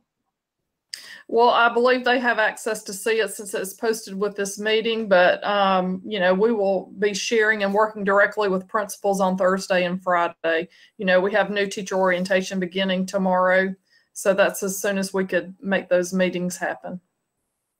Um, so I, I guess, well, I'll just go to the superintendent. Mr. Superintendent, is there any way that you can ensure that, I mean, it's already been presented, and so it's actually it's a working document or whatever. Can you make sure that every employee gets a copy of that? We want to be sure that we send out the, the, the- the correct information for sure. So based on what comes out of the meeting tonight, we will get, make sure our staff knows what the deal is. Thank you. All right, Dr. Kennedy. All right, so in other words, you will not send out to the staff? I'm confused. I said that um, based on what comes out of tonight's meeting, we will get accurate information out to our staff, yes. Okay, all right, I greatly appreciate it. All right. So for those uh persons who have messaged me, um, you've heard it, you will see that document so that you can look at it a little closely. Um, but I will go in and post it to my page um, if the district is not willing to send out. Thank you. Ms. Dobbins, do you have anything else? Uh, no, sir, that was all. Okay, Dr. Kennedy. So now we will move to the school calendar, uh, and Sarah Jones will be sharing this information. She has met with the calendar committee uh, based on the September 8th date that was uh, decided by the board on July 8th. So I'm going to turn it over to uh, Sarah Jones. Hi, good evening. It's good to see everyone tonight. Um, if I could, while uh, Joni is pulling up the September 8th start date calendar uh, that you have been sent, um, I, I wanted to give just a bit of a background on the calendar committee meeting that we held. Um, it was July 16th, and we had representatives from our classified and certified staff. Um, we had administrators, teachers, parents, uh, a student representative, and the sentiment. Uh, I know, Mr. Brown, was something that you said earlier. I very much appreciate those words. The the collective effort from 31, 32 members of that calendar committee. Um, it, it was it was remarkable. I left that meeting honestly just um, inspired a bit in how thoughtful I, I shared with Dr. Kennedy, just how thoughtful uh, everybody was coming from every uh, position and trying to see um, ev- everybody's um, side and, and requirements that we have wrapped around the calendar endeavor. Uh, so I, I want to just publicly thank every single person that um, uh, served on that committee and gave their feedback. Um, we had two draft calendars, but only as a springboard for discussion. Uh, you can imagine that seeing a blank calendar on the screen would be very difficult um, to work from uh, in, in, a virtual environment. Um, we also had a uh, Google document up that we were collecting the feedback from the people on the committee um, that we could look at and certainly take into account in trying to build a calendar um, that's reflective of the September 8th start date uh, and take into account as much feedback as we possibly could um, in, in, honoring um, some of those thoughts uh, that were given. So if I could just give that background. You were given in your packet of information um, the August 12th calendar that we know has to be revised. And I just wanted you to have that um, for context. The September 8th calendar uh, that you're seeing on the screen now, but there was also another document that um, went over calendar features uh, with the September 8th start date and just some considerations and implications that we need to um, just think through and work through. And so, if I may start, thank you, Joni, for pulling that up. Um, the features of the September 8th calendar, um, because of the September 8th start date, through the end of the school year, we have 152 instructional days. Now, the calendar committee discussed different options in the event that instructional days may be increased. Um, so some of that was feedback as well. But right now, our current calendar with the September 8th start date is with 152 instructional student days. We, the calendar that I shared with you uh, has five school level professional learning days, uh, two level, two school level PL days. The pre-planning uh, begins on Wednesday, July 27th, and I'll circle back around to some um, uh, of those other concerns in regards to start date of staff and start date of students. But for this calendar, the pre-planning does start Wednesday, July 27th. For the first day of school would be Tuesday, Sarah, September 8th. Sarah, Sarah, I hate to interrupt you, but I believe that should be Monday, the 27th. Oh, my apologies. That doesn't Was get confused out there. Thank you. Okay. Thank you, Mr. Smith. I appreciate you catching that. So um, the first day of school again would be September 8th for students. The fall break um, October 12th through the 16th. It, it reflects a five day Thanksgiving break. The last day of first semester is December 18th. It reflects the holiday break of December 21st through January 1st, the midwinter break for February 15th through the 19th, the five days of spring break and April 5th through the 9th, the last day of school for students at May 26th uh, which is a Wednesday. I, I, did look at that on the calendar, Mr. Smith, just to double check that. Uh, Post planning, June 1st and 2nd for teachers, and the days in the first semester reflecting these total 152 instructional days. It leaves 63 instructional days in the first semester, but it leaves 89 in the second semester one of the things that we always try to do is get a, a balance in between as as compared to first and second semesters. Um, and that's important for um, the instruction, the students having the opportunity to master content. Um, and uh, right now, as this sits, there is um, some inequity in that piece from first semester to second semester. So, if I may go into the considerations and implications uh, that are to follow, if I may go ahead and just read through some of these, I will circle back around, uh, open for uh, discussion. And there are um, two of these that um, a, a decision would need to come out of tonight. But if, if you would, just allow me to move through some of these things that have emerged that would be um, considerations and implications we would just have to work through with the current 152 instructional calendar. So the first one is pre-K funding concern as a requirement. Um, the, there's a minimum of, of 160 student days um, from the Department of Early Learning.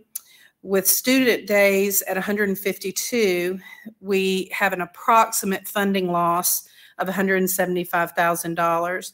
I know um, Dr. Sauce, uh, I know Dr. Sauce was Ms. going. Could, could I could I just give a just a quick point of clarification on that point? I, I can't, Dr. Sauce, do you mind if we just kind of cycle through these? Oh, And then absolutely. I'm, Yeah, I'm going to absolutely. come right back, I'm going to come back to you on that. Yep, absolutely. Thank you so much.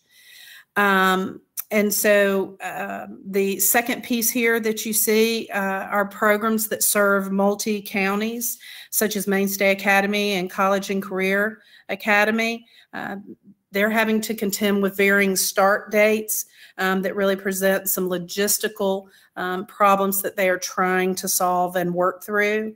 Uh, dual enrollment classes are also uh, of concern as Gordon College and Southern Crescent start dates are weeks earlier than our September 8th start day for students. Um, transportation and food service also would, would need to be considered. Um, staff with school age children, um, those childcare concerns with the uh, number of uh, staff days on the front end of the calendar. Um, that came up as part of our calendar committee as well. Um, if I may just say that um, I know it was mentioned earlier in one of the presentations where they we talked about um, 190 uh, contractual days for teachers, and so um, the calendar that you see, I know um, there may be questions as to why there are many teacher days on the front end versus the back end. Uh, we were trying to be very cognizant of not go not going deep into June for staff. Uh, that was one of the pieces that came out of the calendar committee, but also um, there's going to be a lot of front end training that is going to need to take place with um, uh, Google Classroom. I know Ms. Dobbins mentioned the um, number of new staff and new teacher orientation that's coming up, and um, and also instructional supports that go with um, being able to help students master content, um, such as um, Nearpod and, and some other things that might be embedded in that Google Classroom. So we were trying to accommodate that front end loading and planning. In addition, um, you'll see further down in some of the considerations, we will have many uh, things that have to be worked on and touched, such as pacing guides and um, assessments and, and those types of things that are built around the 175 student uh, number of student days. So that is why uh, it, it is front heavy. In addition, um, the reason we have to back up and start in the month of July is for all for new staff members to our district. Um, they have to be employed 30 days prior to that following month. And I hope I'm not messing up how to say that, Ms. Dobbins, but they have to uh, have been employed um, by that August 1st, 1st start date to receive benefits in September. If we go past that date, benefits are bumped to the following month and that they would not have benefits until October. So, uh, um, okay, good. Yes. That's correct, Sarah. Okay, thank you. Um, so I just wanted to, to share that information. Um, and also there's some implications for new teachers, um, and new to the system teachers and, uh, 13 paycheck timeline, uh, that could be affected. Um, I, I just mentioned number five about that August 1st start date and benefits. Um, number six, uh, work schedules for job types um, will have to be updated. And the RCD for numbers seven and eight, I mentioned RCD um, curriculum pacing guides will have to be updated, as well as possible modifications to units and assessments, um, or they're going to need to take place. Um, Mastery Connect assessment modifications on the scoring side will have to be looked at. Um, we the uh, I've already mentioned about the unequal number of days in the, the first as first semester as compared to second semester. Um, so that presents great difficulty for all courses and those requirements being met in that short semester. Advanced placement, while that is also true for the advanced placement classes, um, advanced placement is still holding exams. Um, they they will have those, and so the kids who take AP classes in that first semester will have 63 days to master that content, um, and just all the while remembering we are on block, so we're not talking about a 50 minute or a 60 minute um, um, section or class for those students, and so. Uh, having 23 less days to prepare for that AP exam for those students in that first semester um, really looks a little bit longer. Um, but uh, I just wanted to share that. Um, the concern in just awarding credit on block schedule with the reduced number of days. The uh, report cards will have to be touched. The report card um, uh, schedule uh, will have to be looked at. Uh, we will have to probably go in and look at, at the standards-based report card pieces. Um, and also October FTE, just a just a concern out there that the FTE count um, will be on October 6th. So the concern is in the event we have students um, uh, that fall into any kind of 14 day quarantine, it could impact our FTE count as students have to be present at least one of the 10 days prior for us to receive funding. So at that September 8th start date and October 6th coming up on the first um, FTE count, just that is a possibility. And, and again, the sports and athletics um, disruption again, and, and Mr. Akins can uh, correct me here, but I don't think GHSA um, schedules, anything like that have been put out, but that just that is a consideration. So many of the things that I shared certainly are just considerations of work to be done, but I wanted to share that with you to help um, help you understand the beginning of year days and why that looks the way it does is that we're trying to keep the 190 day teacher schedule we're trying to accommodate staff members not um, losing benefits for a month. And we're also trying to front load and support staff in giving them time to have adequate training and to implement and plan for the students that they will be serving on September 8th. So, um, if I may circle back around to the first two questions. Um, one was about the pre-K funding. Uh, Dr. Sauce, I know that you wanted um, to add some information here. Um, yes. We will, we will need, um, I was, I was sharing with Mr. Smith, we will need some uh, type of decision in regards to those number of days and that those monies lost or if we are going to change number of student days to get to the 160 threshold. Um, and I, I just needed to bring that before the board this evening. So, Dr. Sauce? Yes, ma'am. Th thank you, Ms. Jones. And just to offer a, a, little bit of additional uh, clarity and information regarding point one, um, very recently we've gotten further uh, guidance from Department of Early Care and Learning around that matter of, of number one, uh, around how they're determining and defining instructional hours. So uh, when Ms. Jones and her team put uh, this document together, we were operating under some different information. So to be clear, uh, that figure, that 175, if we remained at 152 days, we now have clarity now that it would it would come in just under 150, uh, not quite the 175. So we'd be looking at at less than that, but still we, would, uh, we would owe money back to the Department of uh, Early Care and Learning um, if we stayed at 152 days. And again, we're probably looking at somewhere in the neighborhood of just under $150,000 uh, rather than that 175 figure. Now that we have more information, I want to just offer that that clarification. Thank you, Dr. Sauce. I appreciate that. Um, eh, so I didn't know, uh, Mr. Smith, if we wanted to um, open up that student day um, discussion or what the implications are with our district um, having to um, pay back the $150,000. Well, I think you've um, you've laid that concern out there just so that everybody's aware of that. Um, adding adding student days back to the um, to the calendar, of course, has a lot of implications. As as Sarah talked about, um, not only does it affect the pre-K, but it also affects a lot of the other instruction that goes on in the district.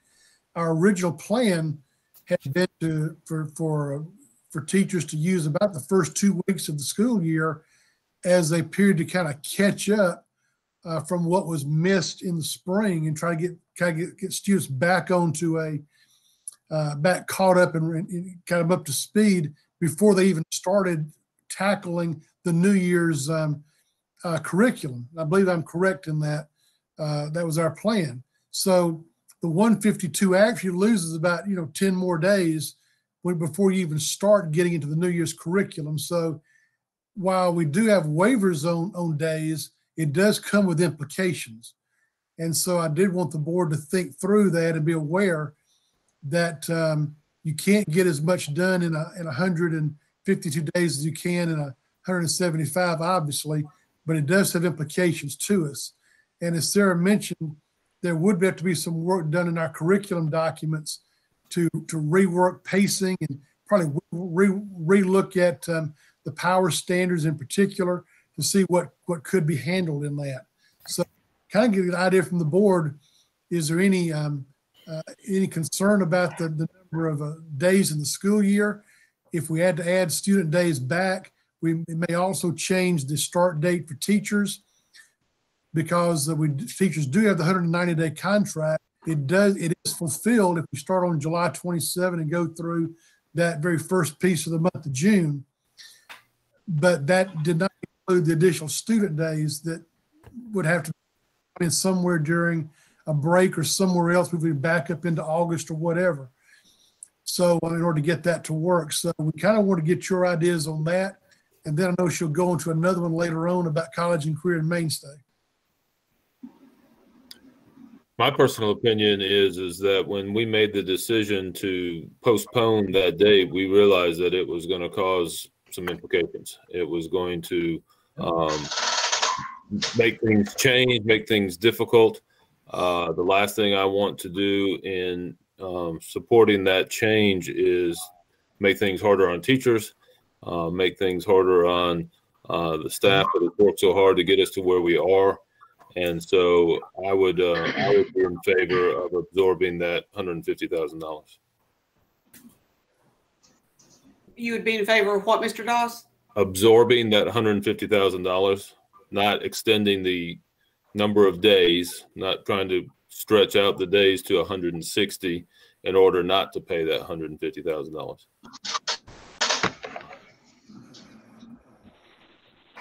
Well, the thing, uh, uh, I'm sorry, the, the, the thing that, that bothers me is that with the September 8 start date, and I think everyone that's watching and the cabinet and the governance team realizes what we were thinking at that point in time is just to give us more time to, to get ready, so to speak. Um, but as we know, the situation of since July the 8th has changed tremendously too. Um,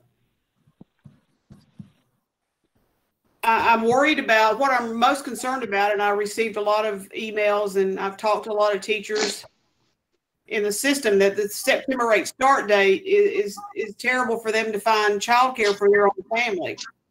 It's very difficult. A lot of our daycare centers in our own city have closed because of COVID. Um, which ones will close tomorrow? And I certainly don't want to put our teachers and their families in a position where they have to take their children to a daycare they haven't had the opportunity to, to fully vet.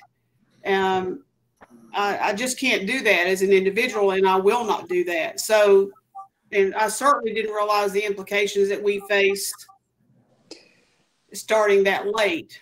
Um, I do have a proposal on the table uh, that I sent to Mr. Smith and uh, the, the, the governance team, and I, I do want to further discuss that um, in just a few minutes. But I think we need to move back to perhaps a August 17 start date and teachers report on time.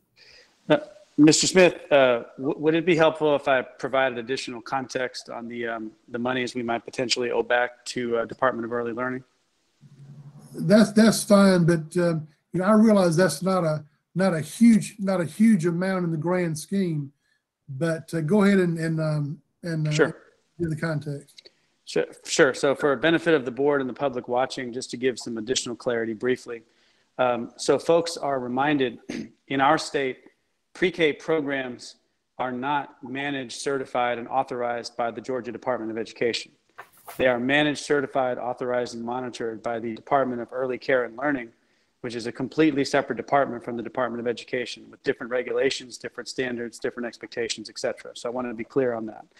Um, and within the state of Georgia, there is a requirement by the Department of Early Care and Learning that you provide a minimum of 1,170 instructional minutes for pre-K in the given school year. There is no ability to waive that or to over uh, to overlook those those minimum number of hours uh, in the same way that waivers are granted by the Department of Education for other regulations and matters. Those that, that's not the case with pre-K. Um, there there is some flexibility in how the instructional day is defined um, based on uh, the moment children get off the bus to the moment children get on the bus to leave the school. So based on the way our bell schedule for elementary schools are configured uh, from a pre-K perspective, that equates to 160 instructional days. Uh, and just another FYI, uh, not to cause more confusion, but Department of Early Care and Learning and Department of Education define the instructional day differently, just FYI. So from a pre-K context, we have a minimum number of 160 instructional days that we must provide uh, to meet that 1,170 minutes minimum in order to not owe back a prorated amount of money to the Department of Early Care and Learning. That is not something we have the ability to waive uh, with that department, um, the way Department of Education permits with other regulations. So I wanted to just offer that clarity. Thank you. Yes, ma'am.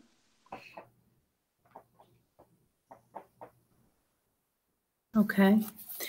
Um, the uh, number two um, talks about the multi uh, the multi-service counties um, that play a part with Mainstay Academy, as well as the Griffin Regional College and Career Academy, and the varying start dates.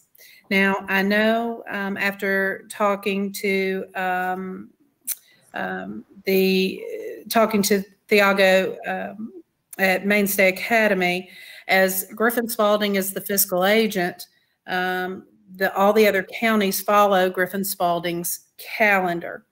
With that being said, the other counties where students come and are served um, have uh, early dates. And so there is the possibility um, as the LEA that we will have to provide services um, to students uh, even prior to the September 8th start date. And so um, he had been speaking with the program coordinator uh, for DOE and GNETS. And so I think um, Mainstay specifically was waiting for um, just the, the finalized piece tonight to be able to say and, and work with the other um, counties and um, service to students that may end up having to come prior to our opening. Um, and for College and Career Academy, um, again, uh, I'm not sure if um, Dr. Ergel is on the line or if uh, Dr. Warren uh, would want to speak to this piece, but I know that they've been working hard in regards to um, trying to work out dual enrollment classes and service at College and Career Academy as the other two counties dates uh, begin prior to us, as well as Gordon College and Southern Crescent uh, Technical College also uh, begin far sooner than the September 8th timeframe. So, uh, Dr. Warren, did did you want to speak on that? Yes, um, good afternoon, everyone. I'm present. I'm also Dr. Ergel is present. I'm gonna let her address those concerns. Okay. Good evening. Thank you. Um, I did want to bring to the board and let you know that the GRCCA, we have been open since May, accommodating students trying to finish up their spring semester courses from Southern Crescent Technical College. So we've been open and we've had success with students coming in. We follow all the protocols that the CDC recommended. We followed all the protocols that um, Spalding County School recommended. And we have followed all the protocols that Southern Crescent Technical College asked us to follow. We should be finishing up, finishing up probably this week with the students that we've had in our building. Southern Crescent has also had some of our students in their building finishing up. So we've been open and we would really like to ask the board to consider to let us to remain open and accept students in August. All of our partners are beginning in August. Butts County is beginning on August the 4th. And my understanding is that they are doing um, virtual option or the in-person option. Pike County School System is starting August the 12th. They're coming back traditional and they're looking for their students to be in their building and in our building on August the 12th. Gordon State College is coming back on August the 12th. They are having um, their instructors come to our building if we will allow them to. They have come over, they've looked at the classrooms that we use. We have small classes with them. We have large classrooms here. They've seen how they can do the social distancing and they're happy to do that. Southern Crescent Technical College begins on August the 18th. They have stated that they would probably have a large number of their core academic classes be remote learning which means students have to be on the computer at the time of their course and sign in and participate. However, the um, technical programs will have some remote learning, and then they would have to schedule up to a maximum of 10 students to come to the lab, like we've done this summer, and do their lab work. Then um, we do have some high school programs here too. And they're going to be severely impacted if our Butts County students and our Pike County students can't come to those courses when they begin in August. Um, because if they're not available to them in August, then those students are all going to go back to Butts County and Pike County. They're going to have to put them back in their system and find them a schedule. So we um, we have small numbers here. We have large spaces. Our aviation program is one of our high school programs. We've got that large hangar. We have the upstairs and the downstairs. So we definitely could social distance any students that came to us and wanted to begin in August. If um, Butts County students and Griffin Spalding County students, if they tell us, you know, no, we chose the virtual option, we'll do virtual, we will accommodate those students virtually. But we are asking that we can remain open and accommodate the students from Butts County, Pike County that want to begin in August in our building so that we don't lose that enrollment for our students. Thank you, Dr. Ergel. Well, um, Sarah, let me add let me add this to it. Maybe um, be, being a multi-county operation like it is, it's important that we're all are able to let our students participate. And what we're kind of faced with at the moment is is uh, is some limitation. So what we're really asking the board to do is let us treat the College and Career Academy as a as a as a different type entity because it is multi-county. Allow these programs to start when we need to be able to do so in conjunction with Gordon and with Southern Crescent. Any of any of the, the Butts County and Pike County students who want to participate would be coming to that campus to do so. But we also need to let it be known to our own students in Griffin Spalding County that if they wish to participate in those programs, they will need to start at that time too. So even if we have, a- even if we had a, a formal September 8 opening, some of these other classes may well start early. Otherwise, our students are the only ones who won't be able to participate in it. So that's kind of what we're asking is, can we have that understanding that college and career is a different entity and, and allow it to open in a way that all three counties can participate, understanding that it may require some Griffin Spalding County stu- students to start prior to the September 8 date. Sure, I, I don't have a problem with that. Okay, great. Me either. That's perfect. Is that good enough, Laura? Yes, that- and I was just going to make the point. uh, A lot of our dual enrollment students, when they actually go to Southern Crescent campus or they go to the Gordon campus and they're not coming onto our campus, their schedules are different. Like their mm-hmm. breaks could be different. They could start at different times. So come here earlier than that proposed September 8th date, it's no different than if they were going to Gordon campus and following the Gordon calendar. Mm-hmm. Okay. I agree. Dr. Ergel, are you saying that Southern Crescent is, is open 100%? No, Southern Crescent is um, not open 100%. They are doing some remote learning. A lot of their core academic classes will be remote learning. And even some of their technical classes will be remote learning. But we would allow students to come in if the classes were meeting on our campus. And also for those technical programs, students, including the instructor, to come in and do their labs. That's the way we did it this summer, and that's the way they're proposing to do it um, in the fall, to have students in the lab by appointment. So we make sure that students are spaced out and six feet apart. Okay. Ms. Jones, does that answer all of the questions that you needed? I know uh, the decision I just heard about GRCCA. Um, May I ask uh, about Mainstay as well, under that same umbrella? Um, it- While I know uh, Chiago Alacio, uh, they would still work with the, um, their program coordinator with the DOE and GNETs. Ju- They may not take that option, but that they have the option to know that they can work from. Are we good with Mainstay following uh, in, in line with GRCCA the same way? Yes. Okay. Any bo- Any board member that isn't? I'm good with that. Okay. Okay, thank you. Um, also, I, I'm sorry, Mr. Smith, go ahead. I'm just saying thank you. Appreciate it.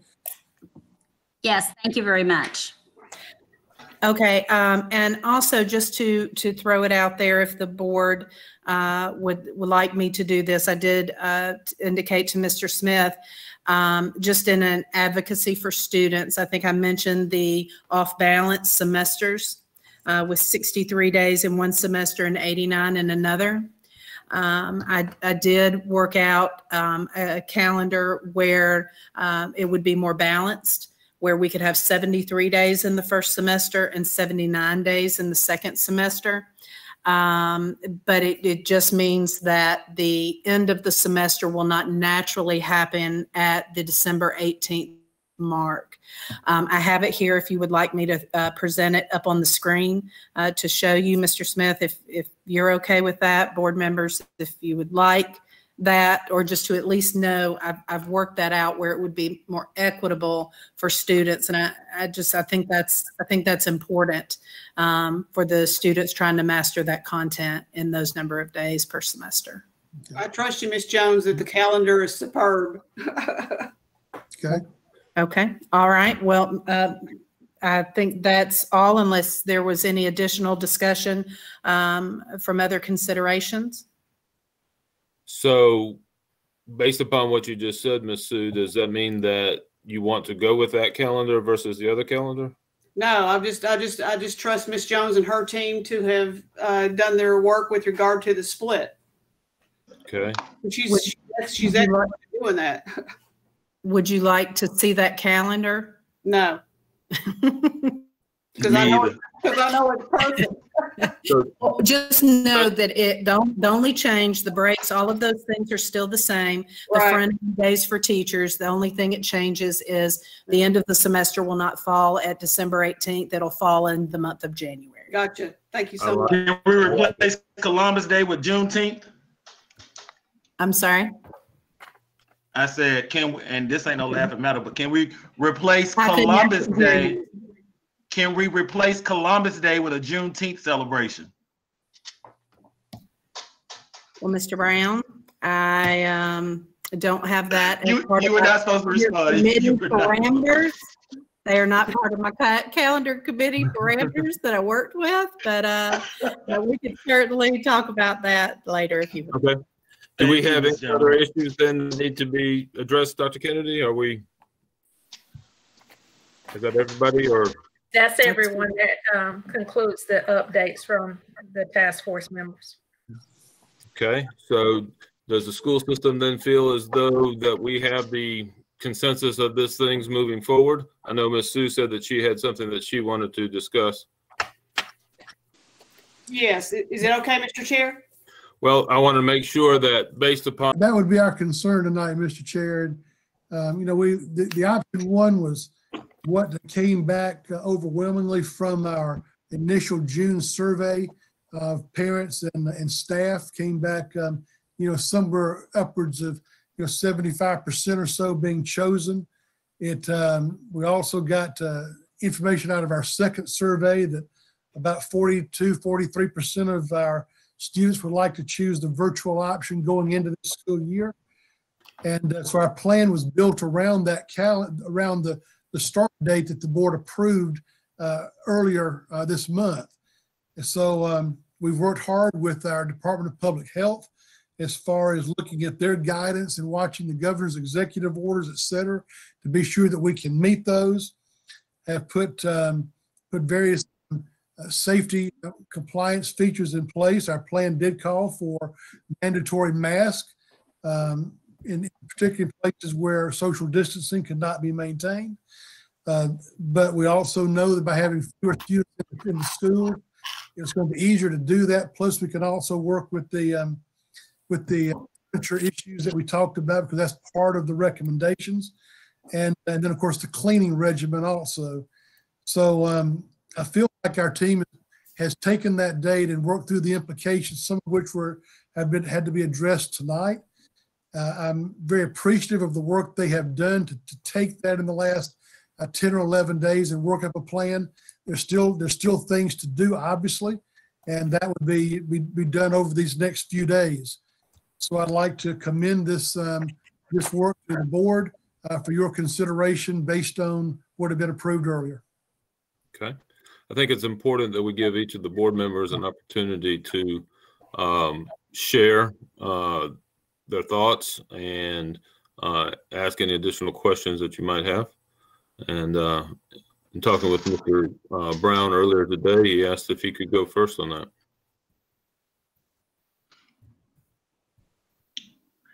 Actually, I'll, um, I can go now, or I'll just, um, I can go after Miss Sue. Either one, whoever would like to go first. I, I will, Mr. Doss. Thank you, Mr. Brown. Uh, number one, I want to thank all the parents and all the employees and all of the staff members of this county that have contacted me. I think I have had contacts from probably 300 people or emails, uh, messages, phone calls. I put my number out there to get uh, information from anyone and everyone. So I just wanted to publicly thank parents and employees that have contacted me. Number two, I want to give thanks to Mr. Smith with regard to and his dedication to GSCS and what you have done for this system.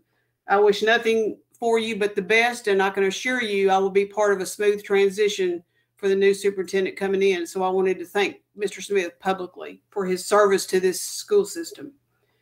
And then I want to thank Dr. K and the cabinet for what you have done since our last gathering on July the 8th.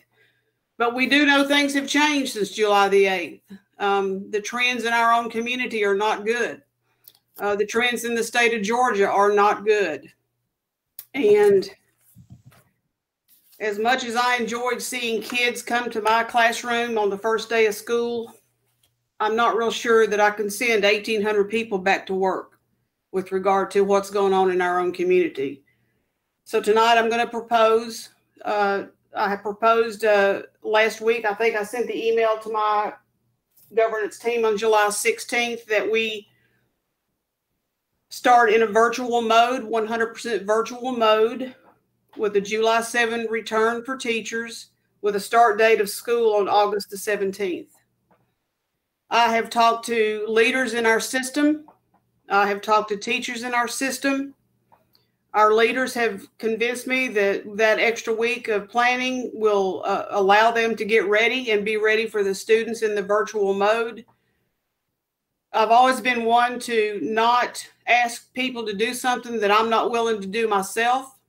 Um, it's a real safety issue for me. I cannot guarantee anyone's safety, um, but I can guarantee them to be safer if they are allowed to stay home and work or even come to school and work. Um, so I wanted to make a proposal about starting 100% virtually on August 17th with a comeback our teachers report on July 27. This wasn't easy for me. Um, it's not easy for any of us. I've watched, uh, gosh, I can't tell you how many board meetings in the in the surrounding area, all over this country, and uh, the positions we're in. Um, are very difficult at this point in time. But I just can't send people into situations that maybe uh, may be unsafe. And I'm really concerned about that we don't have any additional custodians at this point in time. Really concerned about that because I think we should. Uh, I, I don't know. I'm just uh, really worried about the furniture at the elementary level. I, as I mentioned earlier, I heard some so much from elementary teachers that you know they just don't have the furniture they need. Yeah, we can get it, but I don't know. Just have some reservations about that. So I propose we start on the 17th in virtual mode. Teachers report July 27, and that'll solve a lot of the issues that you know we've heard from Miss Miss Jones.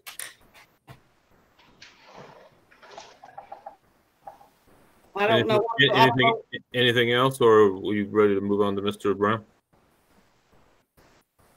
I, I mean, like she still has the floor, so she's. Hold- no, go, hold. Miss Sue, you still got time. Go ahead. Yeah.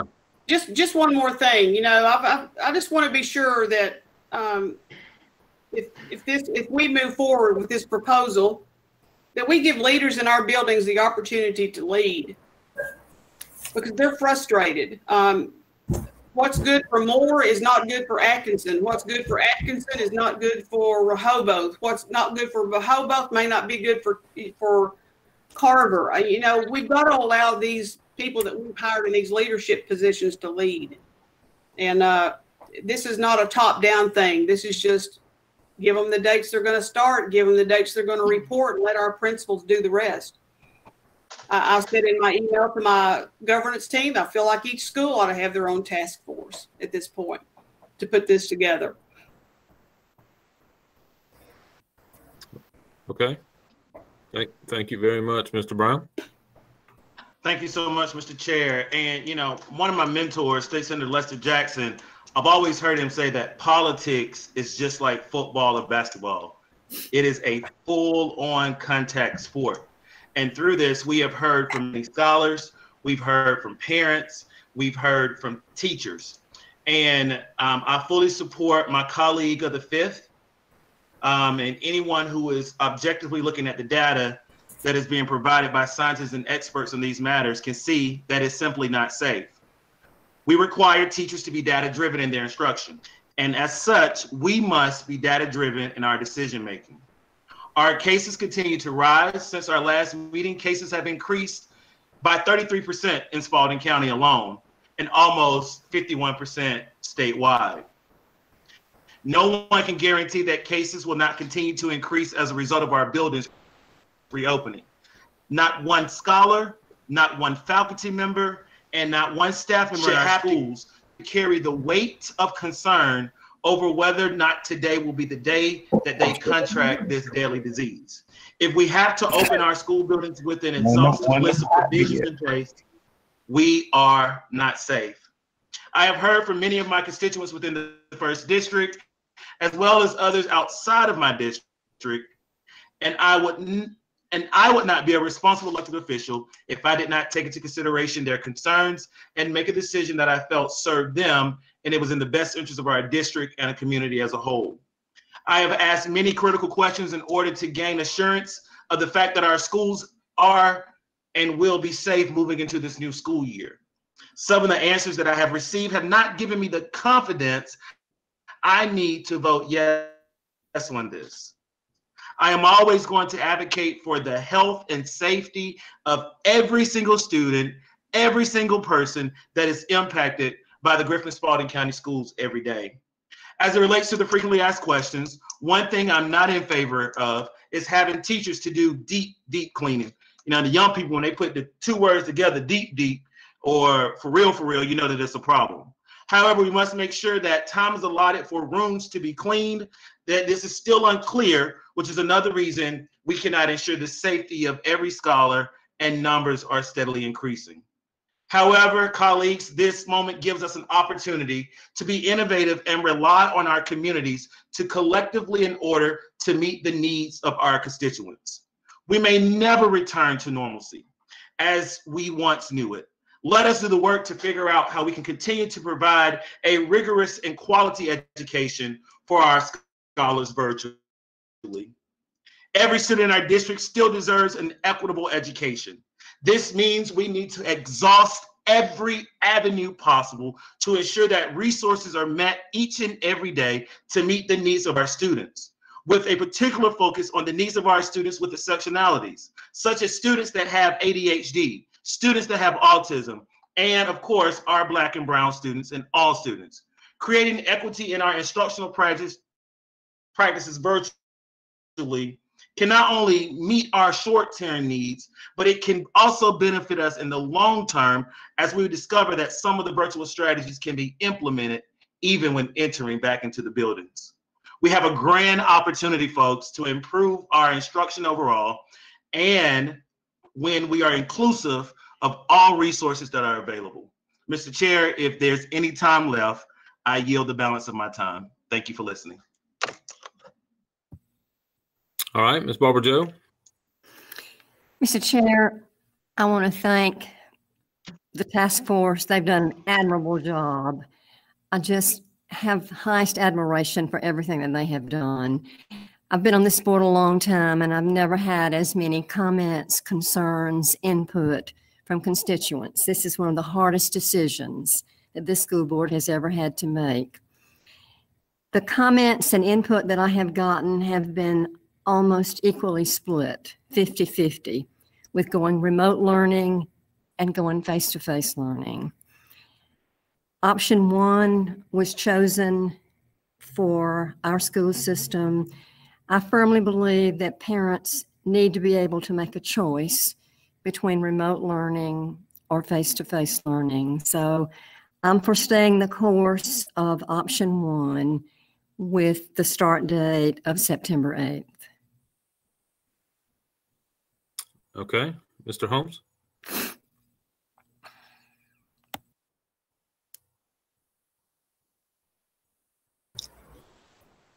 Thank you, Mr. Chair. I, I've uh, have been intently listening, purposefully. I've read every email. I've looked at various educational sites kept up with the Georgia DOE as they even made revisions as late as the 13th of July.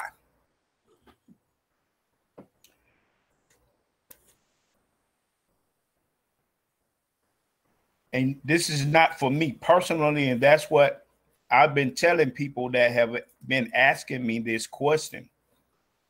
It's not about me personally because my wife and I don't have any kids school age kids that are attending anyone's school. So my my my decision is a p- professional one and it's based on all concerned. That means not only just the students, uh, the staff, all staff, not just teachers, but all staff custodians, nutritional staff, bus driver, all included. And and and and I'm at the I'm at I'm at the point where I feel like we should start totally virtually, but we should not put a concrete time on how long we will go virtually. We need to leave that open ended because we need to reassess conditions at first thought during Thanksgiving break, during the Christmas break, and doing the changeover at the first of the year. We, we shouldn't just say we're going to do it for nine weeks. We we don't we don't know what's going to happen. Uh, so we need to leave that open ended. And I feel like we need to go back to the original start date because I've listened to what the superintendent has said, how pushing it back will affect us, even what Ms. Jones brought into play and what Dr. Sauce brought into play about uh, the funding uh, piece of it. So I think we need to go back and and and I've heard from some staff people about child care for them personally. Also, during that time, we have some work to do and we need to continue working on our plan to return to the building while we're going through the virtual process.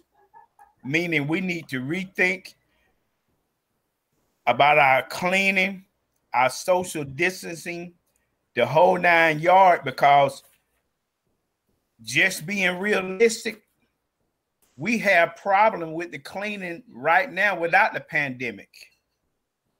We have we have people complaining about things not getting clean, bathrooms not getting clean, not having soap and uh, water problems in the bathroom. May not be all school, but I know one school particularly that is going through that. We we have to we have to be realistic. We can put all this on paper and say this is what we're going to do, but the reality of it, will it get done? Will it get done? We have a problem now. Let's be real. We have a problem now with custodians cleaning the school properly. We have a problem now with things being taken care of in our school. Something simple as having soap in the bathrooms. And now we're being given a task of doing deep cleaning so that people won't be listen uh, infection control is serious and then we have to let teachers what i these are what i've i've written down we need to let teachers teach from their environment. Let them teach from their classroom virtually where they have their needed resources. They have their whiteboards or whatever, and they and they can do a better job of teaching from their classroom. We need to monitor the staff that will be coming into the building each day. I've, I've sent information to Mr. Smith and the board about getting staff and students tested.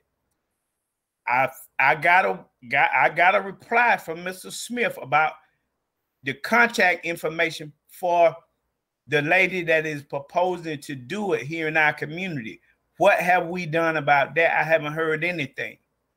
What have we done about testing students and staff before they do anything?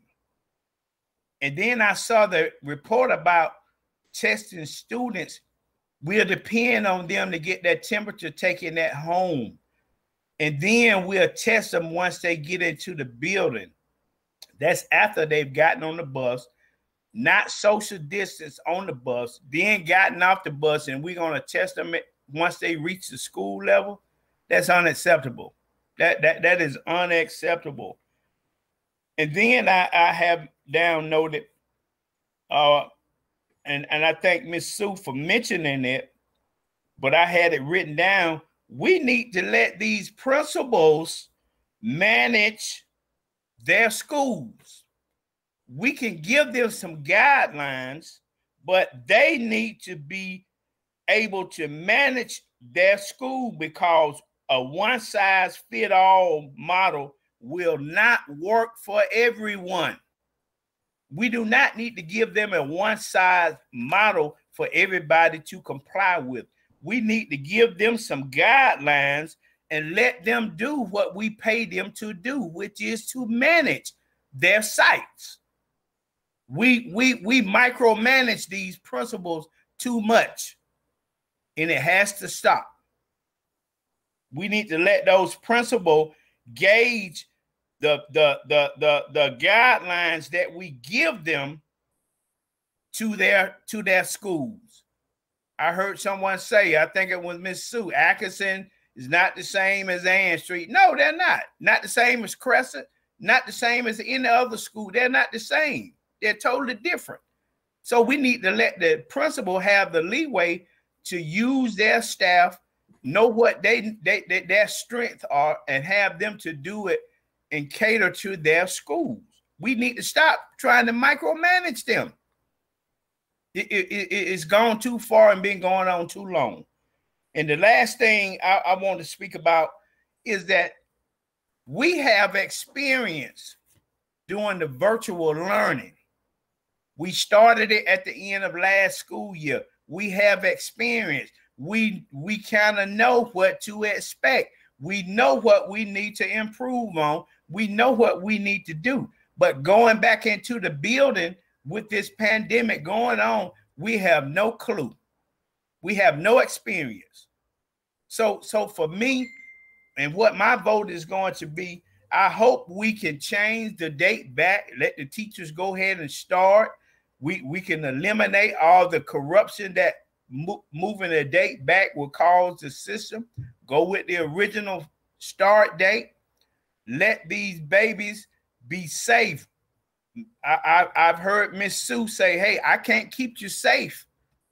I can't guarantee your safety in school, but I can I can guarantee you that I keep you away from some of the stuff if you're at home. The rest is up to you.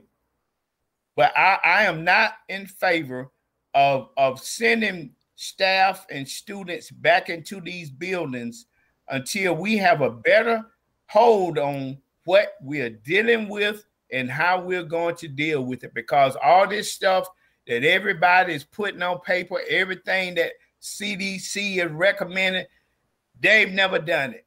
They don't know. They're just speculating.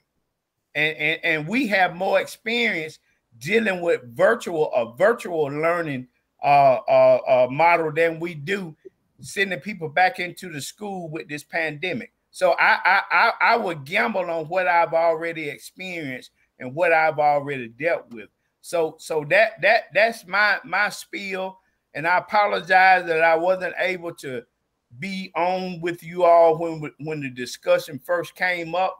Uh, but that was a technical difficulty because I was I was ready and able and was trying and and uh, could not log in. But but that that's what I have come to a conclusion with.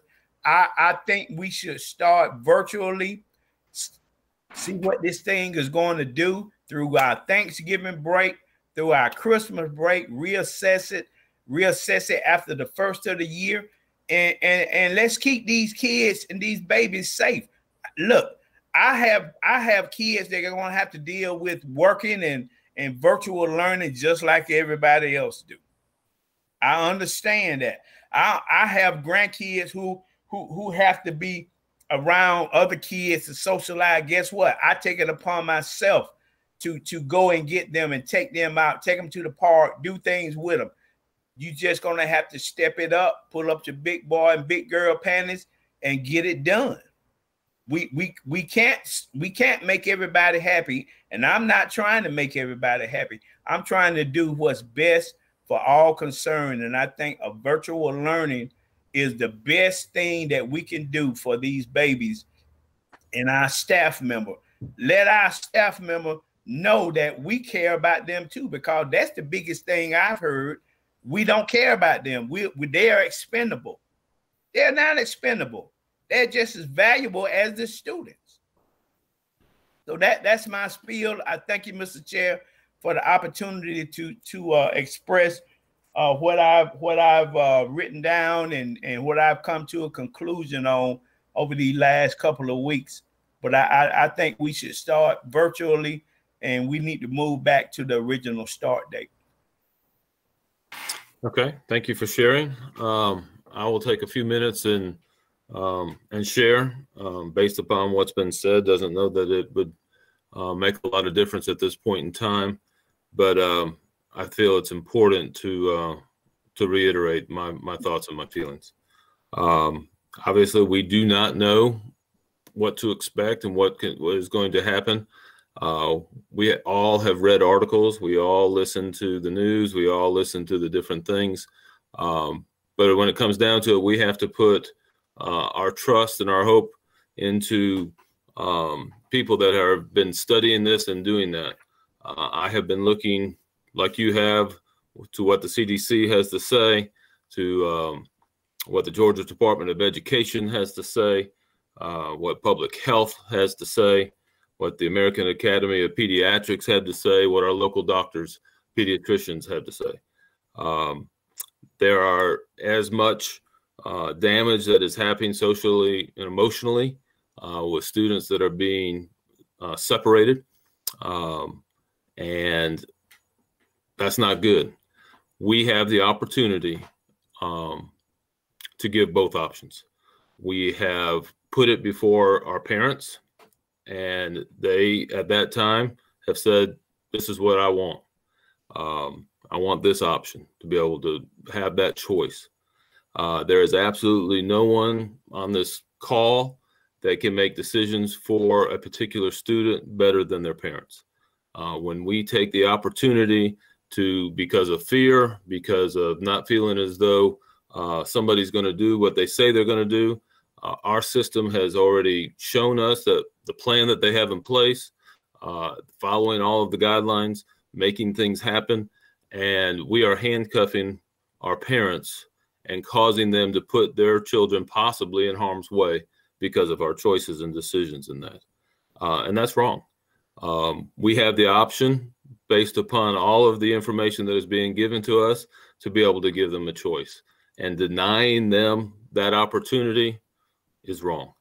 Um, you know, I'm assuming that when I'm done speaking, there's going to somebody is going to want to make a motion, um, and there'll probably be a second, maybe a little bit more discussion on it, and then a vote will be taken. But everyone has to be able to look at your constituents. Everybody has to be able to look at parents and say, I made my decision based on this, and I didn't care what the other people said. We have extreme from left to right. We have uh, obviously. I'm I was thrilled when I heard we have 43% that are choosing virtual. That makes it all the much easier to be able to accommodate those that are sitting in a classroom to be social distancing. Those that had issues with masks and children having to wear masks, we're going to be limited on that because with the wide open classrooms that we would then have, we would have the opportunity for them to be able to take those masks off. Sure, there may be times I have to have them on, but we're doing, I believe, our community an injustice by not giving them the opportunity to make the decision themselves.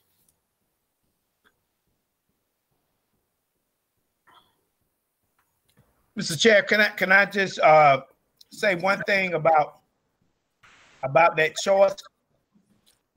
Sure. I, I sent questions. I sent questions from a staff member and from parents. And I and I, I sent it to the superintendent and every last one of the board members. There were some parents trying to make a decision. I think I and I know I sent it to you. They had to make a decision by this Friday of what they wanted to do there was questions that had not been answered.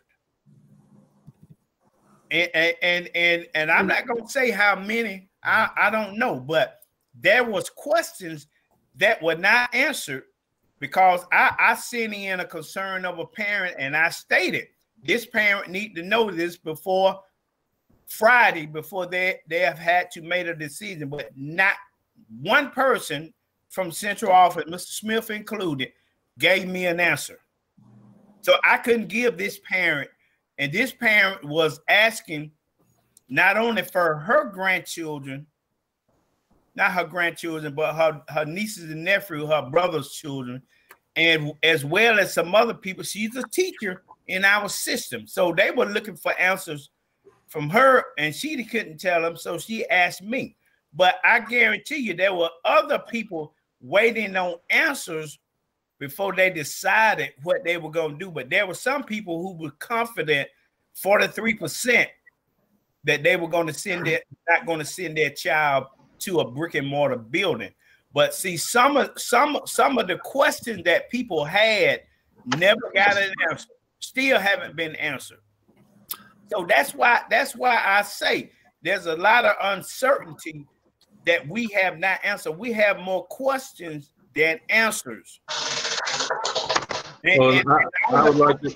information we have gotten from the pediatrics and everything, they are not scientifically uh, uh, uh, proven because we don't even know what we're dealing with with this with this virus. We're shooting in the dark, hoping that we'll hit something from the CDC on down to the pediatric. And and and I and I have I have talked to and I know people personally that work in these organizations and they don't know. They're shooting in the dark. They're giving their best best answer, and most people give you their answer based on them personally, uh, from whoever is influencing them. But I, am not letting anyone influence me. I, I've listened and I've made my best educated guess and opinion on what will be best for all concerned. That is, we don't know what we're dealing with. We don't know what it's going to do, how it's going to affect us. But the best way to eliminate some of those threats is to keep the people from those things. I dealt in emergency medicine for 29 years. I, I do have some experience dealing with issues like this infection control, SARS, and things that have, have hit us. I have experience. And the best way to eliminate that threat is to get away from it. So, so everybody got their opinion, but I base mine on what I have experienced and what I've gone through. And, and if you're a Bible reader, you'll know that give you some wisdom when you had experience. So I, I'll leave it at that. So don't don't don't don't don't think that these these these surveys that we've done is an end all answer because you look at the number of who responded to them. We we we got over 10,000 uh uh 400 students. I guarantee you we didn't have we didn't have parents for uh, all of those kids to answer those surveys. We didn't have parents that wanted to maybe go do virtual. They didn't have answers, so they didn't know what to do. So, so let's not play games about these numbers on these surveys because they are skewed. They, they, they we didn't get hundred percent participation. We didn't have any type of level uh, that we were looking at that was going to be a, a, a, level of participation that we felt comfortable with. We never said that, never heard that.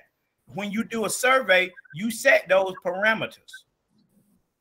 So, so let's not play games about these numbers when when when when when not everyone participated in doing the survey. That just give you an inkling of who participated in the survey, how they thought, and what they thought. That's not a, that's not an overall a picture of what everybody that's in our school system thinks and want to happen. So that that that survey, it, it, I looked at the number of the respondents, and and it, and it really just went out the window for me because it wasn't a true, true picture of what parents and students are represented in our system. Only the ones who chose to to to do the survey, their voice got heard, but not everyone's voice got heard. And I, I and, and Mr. Chair, and understand if we can, I'm going to just reply to what he said, and then I'll give you an opportunity, Mr. Brown. Yes, sir. Um, in in reply, we needed the information to be able to know what was going on. The reason that we had to end that without them having all of that information and all of those answers is because if we only had 5% come back and said they wanted to do virtual, then the method that we were going to be choosing wasn't going to work. And so, in order to do option one, we had to get an idea of how many we were looking at. And so, when we, you know, when several days ago, we knew that we were around the 25% mark, and it ended up shooting up to that 43% mark. We have done our central office an injustice. Two weeks ago, we threw a bombshell on them and changed the date from a recommendation that they were wanting. Mr. Chair, parliamentary inquiry, I, I have to stop you. I have to stop you because if you're going by norms and protocols, it seems like the majority has this, and to you, for you to say that that's an injustice, you're out of line for that, sir. We haven't taken a vote. I'm just sharing my opinion. Mr. Holmes shared back to me with something that I said, and I was just taking the opportunity to do that. I told you I would give you, you an opportunity in just a minute. And, and let me ask this question, Mr. Doss, or anyone. What what was the what what what was the the the the the the, the error number that you all placed on this survey? Plus or minus? Let me ask let me ask that question. I, I've done plenty of surveys, brother. what, what, what, what, what, what was the margin of error, plus or minus, that you placed that was placed on this survey?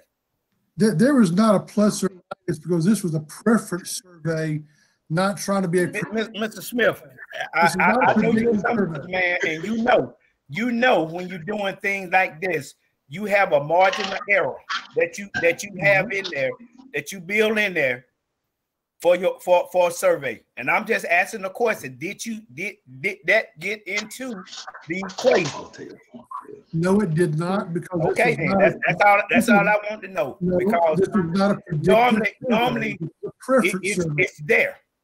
It's just no, like if if you work in an organization and and a lot of people don't understand, you go to a retailer and they have so much of theft. Guess what? If it doesn't exceed the margin of error that they have, they built into their budget. They don't worry about it.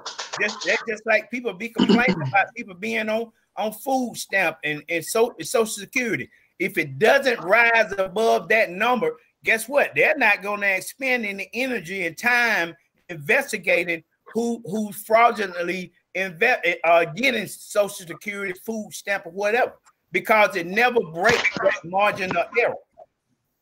That's why you build in the margin of error when you're doing surveys. We had Okay. I had- of our parents. I had told Mr. Brown I would circle back around to him. Did you have something else that you needed to add?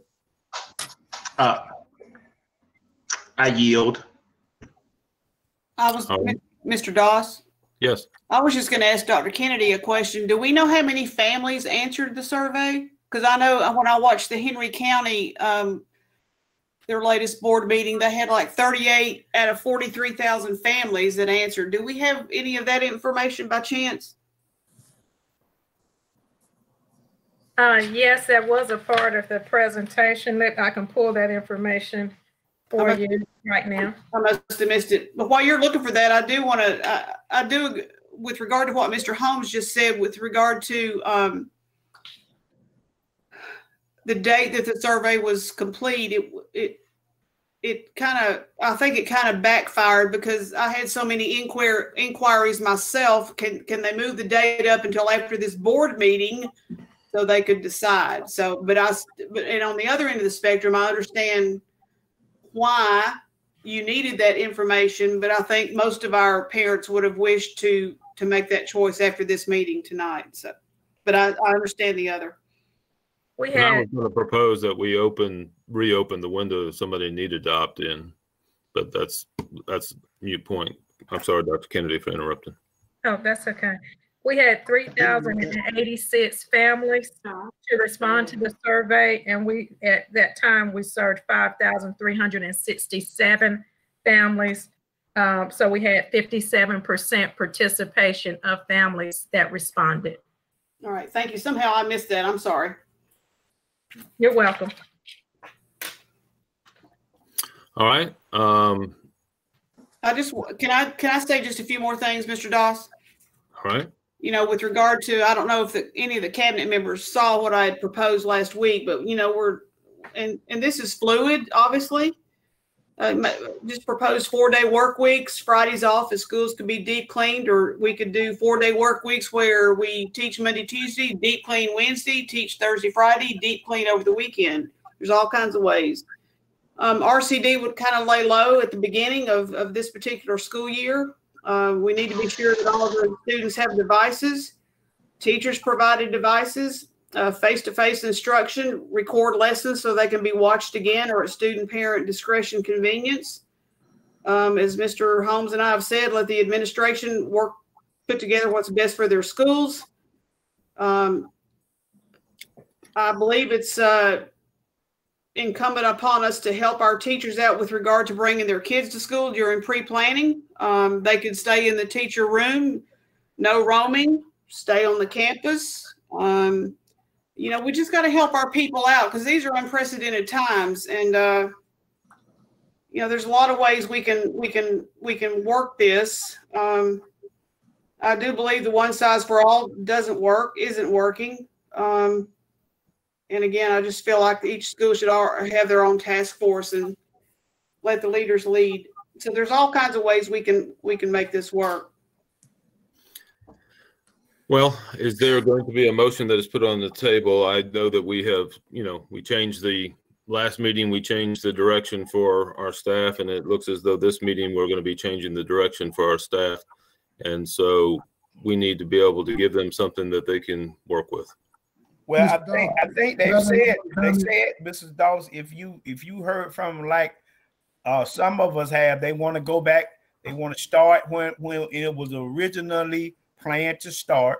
And I think Miss Sue gave an explanation of why we pushed pushed it back to try to get prepared. But but but staff members saying that they want they want to go ahead and start and that new teachers get trained. And I make a proposal that we start virtually uh, and and and we go back to the original start date, and we leave leave it open as to how long we'll go virtually, so that we can assess what the conditions are, what the situation are, and we can make a decision based on what what is presented to us at that time. What's what's what's the original start date, Dr. Kennedy? Well, and I was going to ask if I could uh, speak to that, uh, Mr. Holmes. The original start date from the task force, if we were offering option one uh, from that discussion, was August 12th. If we're going all virtual, I would not propose August 12th because we would have to get Chromebooks out to all students and any other materials. We would have to bring in students at staggered times to be able to manage social distancing. And that's going to take a number of days. It'll be like what we did at the end of the year when we collected those materials over, it was over quite a period of time. So I would not recommend us using August 12th. August 12th was based on option one. Sure. Well, well, let me ask you this, Dr. Kennedy. When, when we first went virtually, I'm going back to what we've done. I'm going back What to we- what we, what we did when, when we was in emergency mode trying to get it up and started. How long did it take us to get get get Chromebooks out to students? Well, remember on the day when we went virtually, we had students in school on the last day and they were issued their Chromebook before they walked out the door. So mm-hmm. any student that was in on campus received their Chromebook. If the student was absent, we had days that those students came in and picked up Chromebooks. Mm-hmm. We're doing it to- a totally different situation because now no student has their Chromebook. We're going to have to bring them in to receive those materials. They received them when before they left um, in March. So Okay, that's a I- different I- scenario. Okay, I understand that, but what I'm asking you is, what what was the time time frame on on doing each one when we uh, when we first gave them out? They were in school, but when we picked them up, they were not in school. How long did it take for us to get to uh get the get the Chromebooks from from them? Oh, you're saying from collecting. I thought you were saying it from the beginning. Excuse me, uh, Mr. Holmes, I misunderstood. Uh, the principal scheduled over a series of days during a week.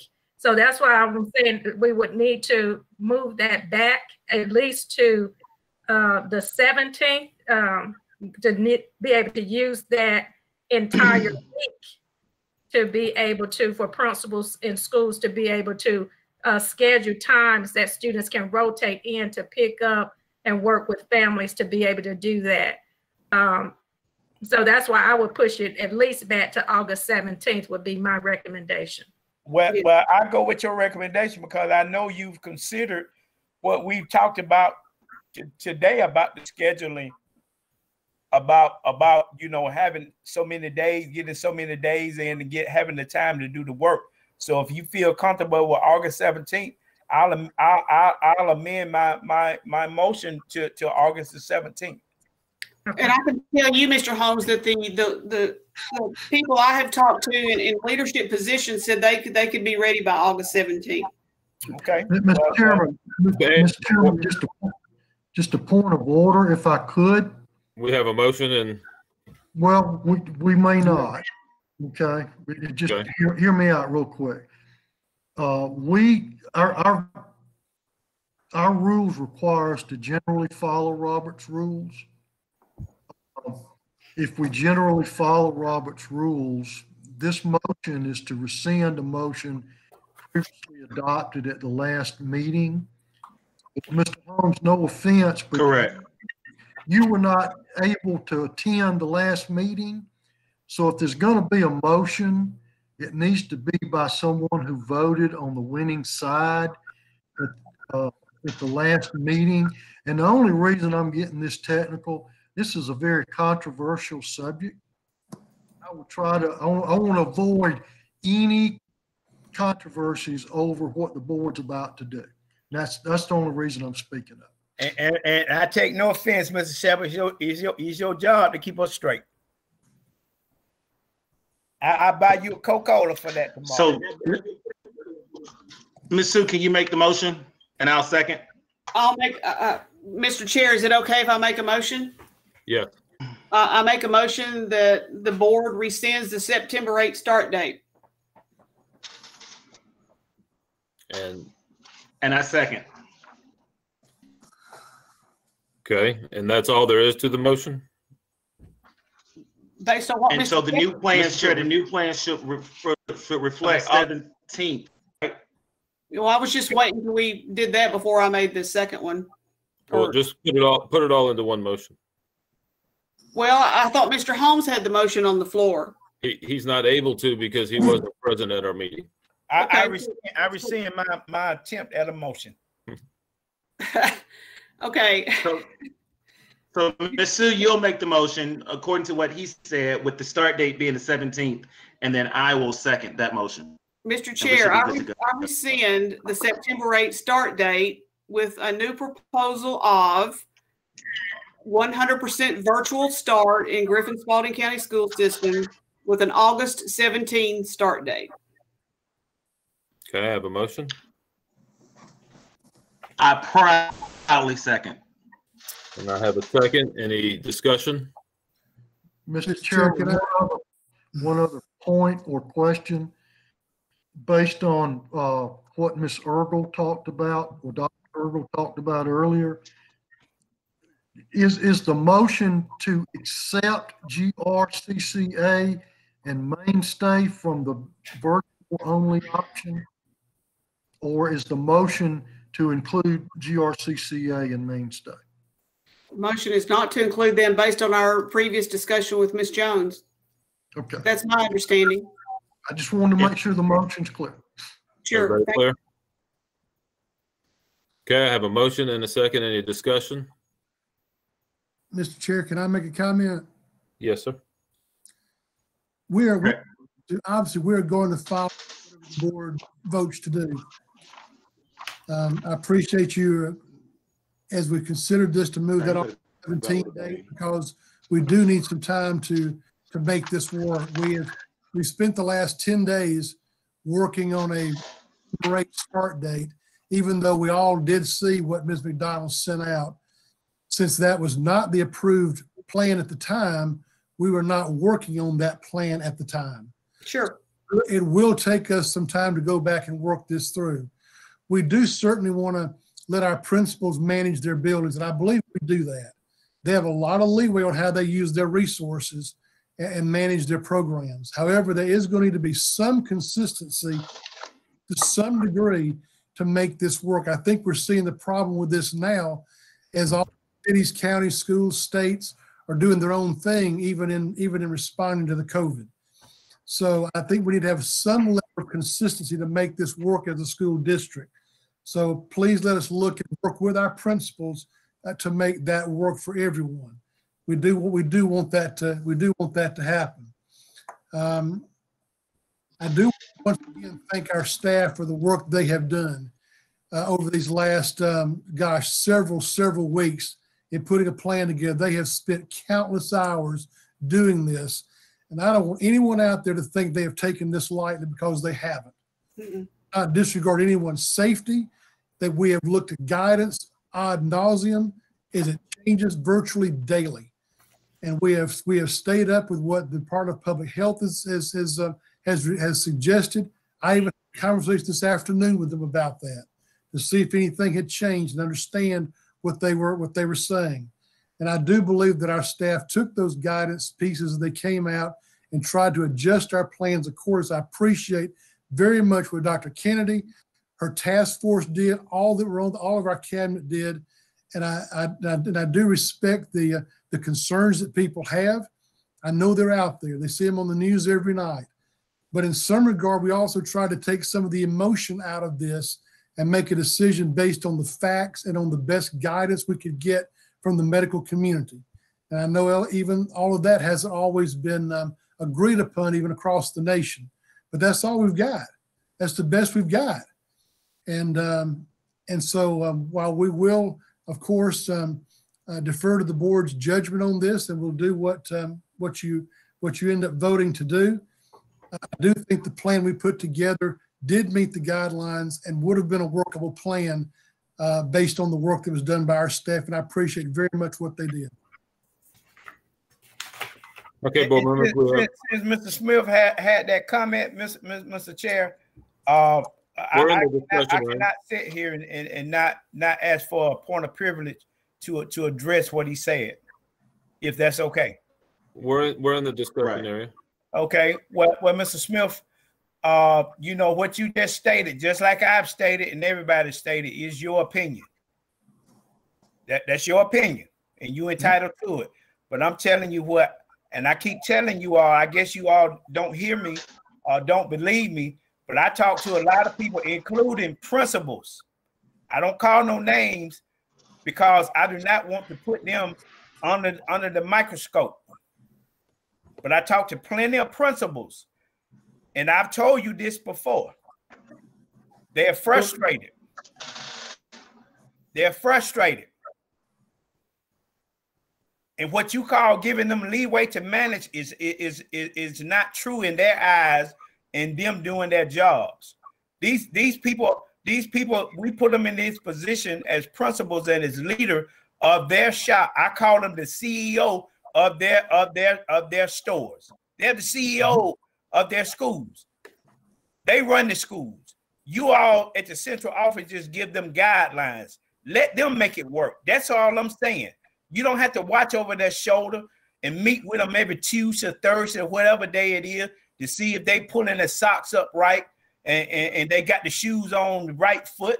Let them manage. And if you see something that need to be tweaked and, and something that needs to be addressed, then you do it. But you don't you don't you don't have to get with these people every week to manage them, micromanage them on them taking care of their school. That's taking them away from from the building where, where most of them would rather be in the first place. I've heard that a hundred Mr. times. Holmes, Mr. Holmes, can I, So I- can I- but Mr. Dawes, I, am just trying to guide you back towards the topic of our well, well, discussion. that, but no, uh, that that was the topic. That was his comment. I, I said I wanted to address it, so I'm gonna address it.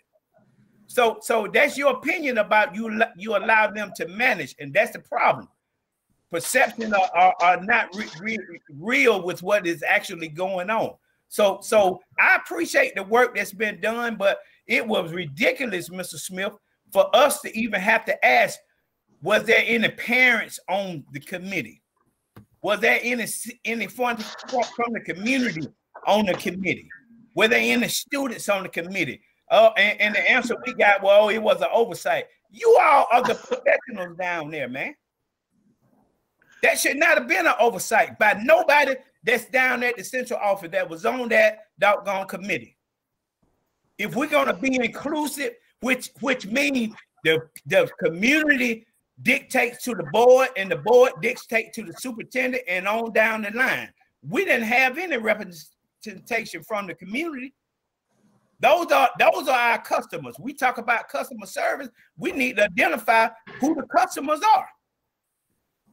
Well, So so so I, I can't I can't sit here and accept that when when when you all are the professional, but it was an oversight that y'all didn't have the people that needed to be on that committee to make these decisions.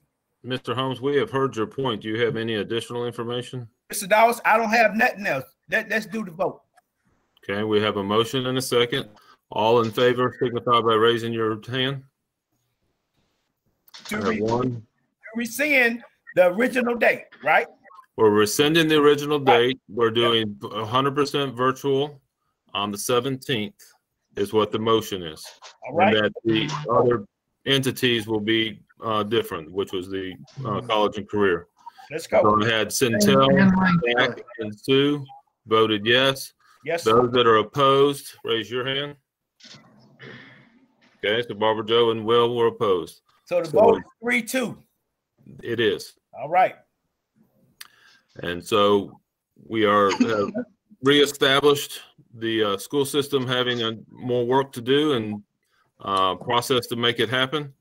Um, we, I think, next on our agenda, we have board member comments, but I think all of us have had an opportunity to, to give our comments. Is there I have anyone not, that, I have some other comments I would like to make, Mr. Chair, before we go ahead and just get on out of here. well, we also have executive sessions still that we'll be going into. Okay, all right. Thank you.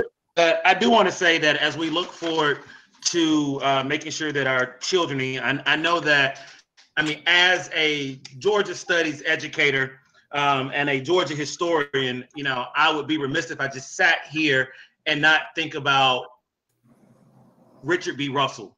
Richard B. Russell, who served uh, the state of Georgia at the age of 23 as a member of the Georgia House of Representatives, who then became governor at the age of 30. And through his time as governor, who uh, streamlined processes and made it to where uh, we would condense states, state agencies to to be able to work together to better be able to serve the constituents of Georgia.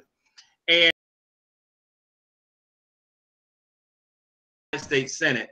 And one of his greatest contributions outside of bringing military base to Georgia, he and Carl Vinson, was being known as the father of school lunch. And so I want to make sure that and to ensure that our scholars have, have meals. Um, I also want to make sure that we continue to have more task force that continue to listen to the concerns of teachers, to the concerns of parents. Longer be no more over of us including the uh, correct people in our that it can be.